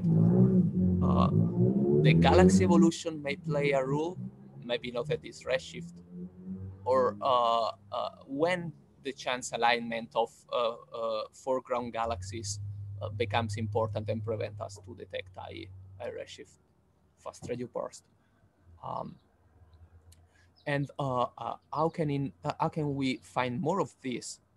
should we just wait for very sensitive telescopes? how many would SKA found? and can we start looking with fast um, and uh, a second question that uh, uh, came out a few times is if, if whether multiple uh, population of fast exist. Uh, we've seen evidences for um, uh, differences between repeaters and non-repeaters. Does this suggest two separate classes or is it still compatible with one single class? And if multiple populations exist, since there is such a spread in the properties of burst, uh, is it conceivable that there are many classes and are we ever going to be able to, to know that? And uh, if so, what strategies we could uh, pursue? And um, uh, and yeah, these are my my two main questions. Okay. All right. Thanks, Daniele. And uh, Yuri.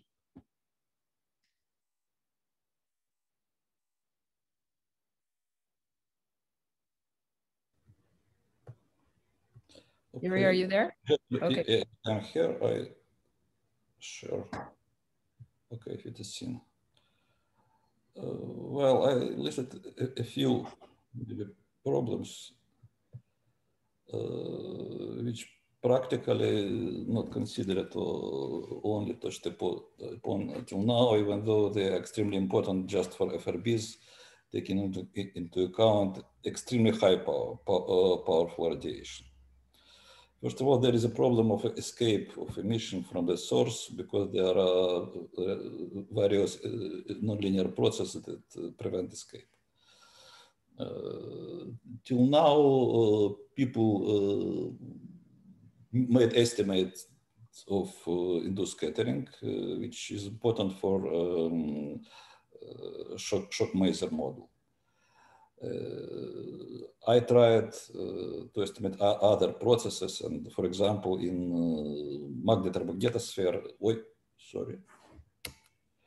Uh, the most important is uh, three-wave interaction, which just produces ca cascade of waves and redistributes energy to uh, high frequency and small wavelength, and eventually energy decays. And according to my estimates, radiation with uh, typical power of strong FRB does not escape from magnetar magnetosphere. Of course, that's only estimates that it would be good to have uh, simulations because uh, such thing as uh, wave turbulence uh, could have some subtle point which uh, could, which is difficult to see.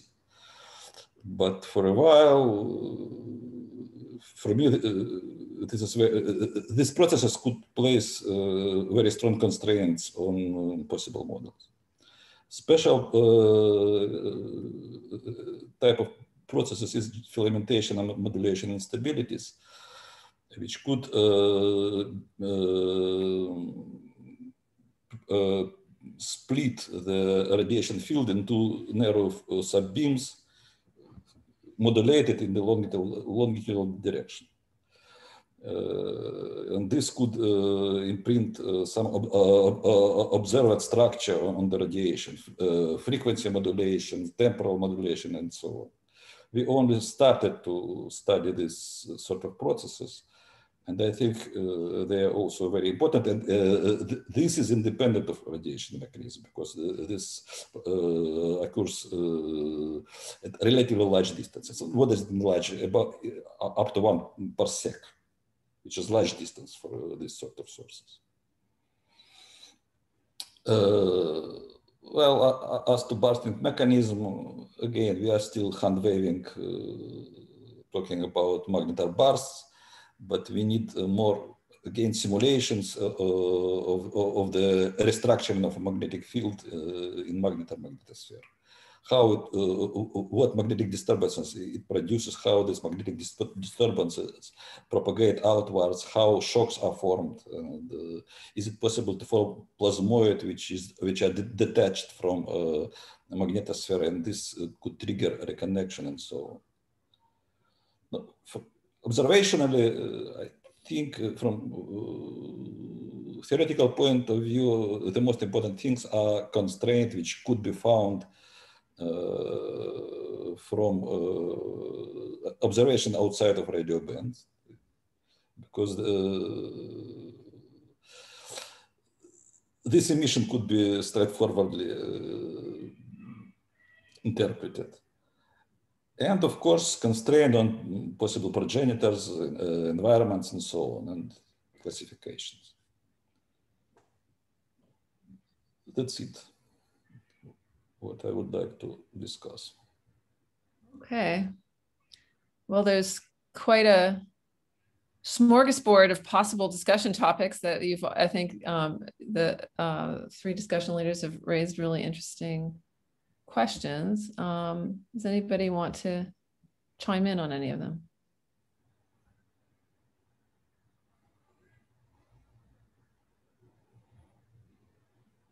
Don't be shy. Now's the chance. Now's the time. I would say uh, we can rule out radio emission mechanisms, but I don't think we'll ever know the real mechanism because it's such a small part of the energy of the burst. Yes, this is a typical problem that, that radio emission is a dirty effect. and therefore it depends on uh, many details and therefore uh, constraints on parameters from uh, observation in uh, high energy band. High energy, I mean including optics, are uh, very important, of course. But uh, again, uh, I, I, would like to stress that uh, there are many theoretical constraints. And taking seriously these constraints, one could single out the theory because for a while, most of models ignore uh, important processes, which inevitable uh, work and should be taken into account.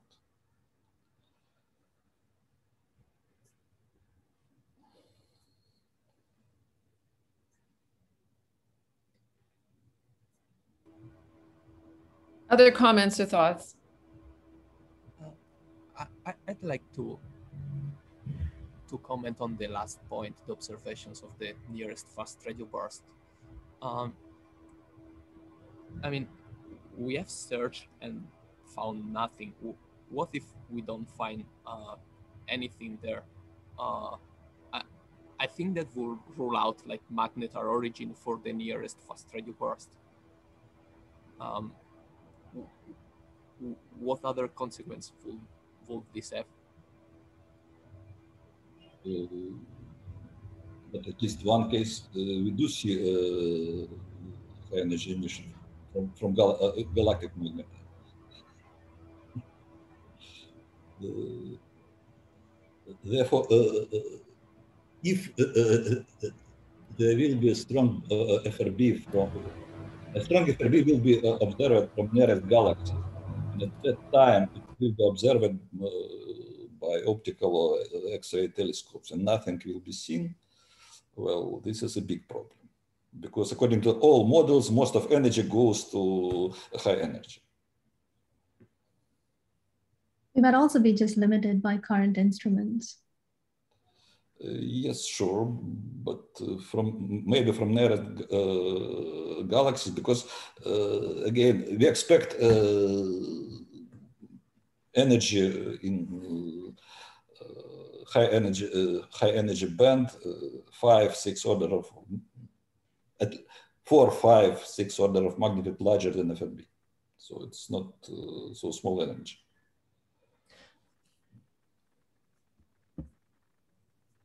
I would say oh. the 10 to the 37 for the, the globular cluster one is not that constraining for a magnetar. You can rule out the giant flares, but not the regular stop short bursts. But that, that one's also weird. I don't know if it's a magnetar. It could be a lensed millisecond pulsar. I think for the for the globular cluster one, it's mainly the rate that the magnetar is so short-lived and it's difficult to reach the rate whatever um, mechanism, merger mechanism you're involving, it's just difficult to have a something with active lifetime shorter than 10 to the 5 years. Um, so that's that's that's that's already like very different from the galactic uh, the galactic SGR like case. Maybe that's already suggesting there are division of population. Yeah, I would like to just amplify that in that we've seen very um, different. This is a paper was just discussed in, in the Monday um, session. Just that repeater uh, bursts uh, look different from non-repeater bursts, and of course there is some uh, overlap because some non-repeaters could be repeaters. But doesn't you know doesn't that give pause that they're really you know likely multiple classes or at least two different classes um, or there could be two different classes. And that and the the huge luminosity gaps you know 1935 yes it produces frb like emission but but really just the bare lower limits of what you can have for frbs there's many many orders of magnitude six to you know at least six orders of magnitude in luminosity that you still have to bridge with a magnetar. And that together with the differences in repeaters and non-repeaters to me suggests there easily could be another population uh, that's not not just magnetars. Well, I would say it could be still magnetars, just two different kinds of magnetars.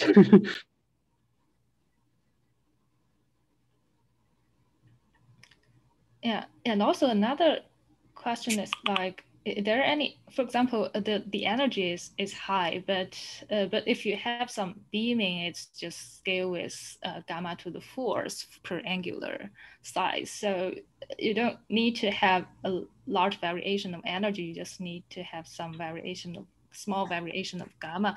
But that that would require your emission region to be very small and uh, um, very coherent gamma. That's like a possible scenario for you to, for example, reach the case where you just have a small emission region, very coherent motion of and high, well, not not actually need to be high, but moderate Lorentz factor. Uh, depends on, on the source mostly people discuss magnetar and magnetar. Uh, in pulsar, yes, because we, we have uh, natural place open to light tube, which produces narrow beam. Uh, there are no good ideas in other cases how to produce something very narrow. Mm -hmm. This is this is the problem. Of course, it couldn't be excluded, but,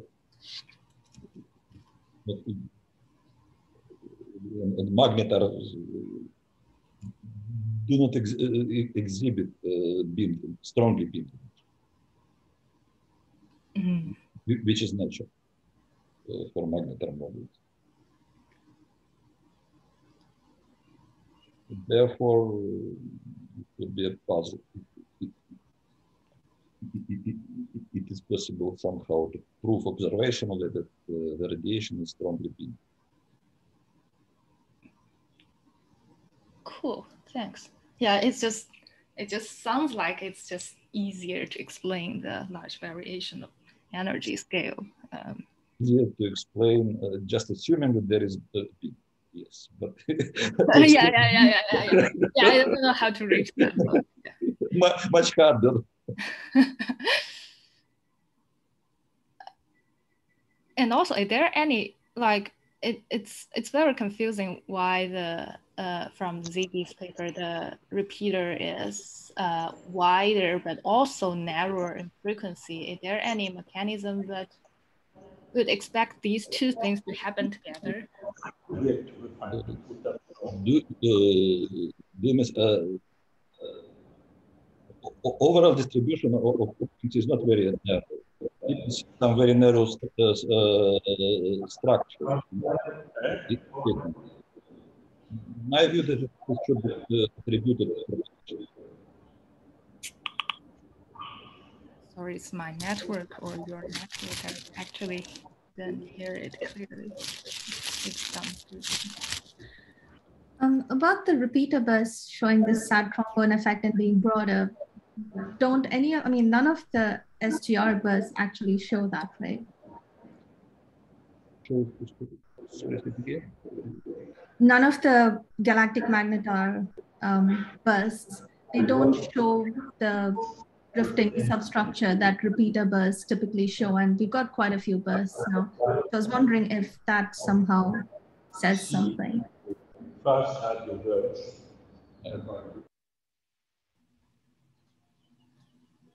difficult to say. I think that's a that's a that is a good point. Um, that is a very different phenomenolo- phenomenology that you in radio emission from magnetars that um, MFRBs. That's uh, because if we're saying all repeaters exhibit all this sort of drifting substructures predictive of repetition, then 1935 isn't your typical repeater. That did show you know two different components with vastly different spectra. It's not the exact you know marching down substructure we see in repeaters but it's still you know indicative of a spectrum that's not broad because it drops off and ramps up in a 400 megahertz band right? Yeah that's true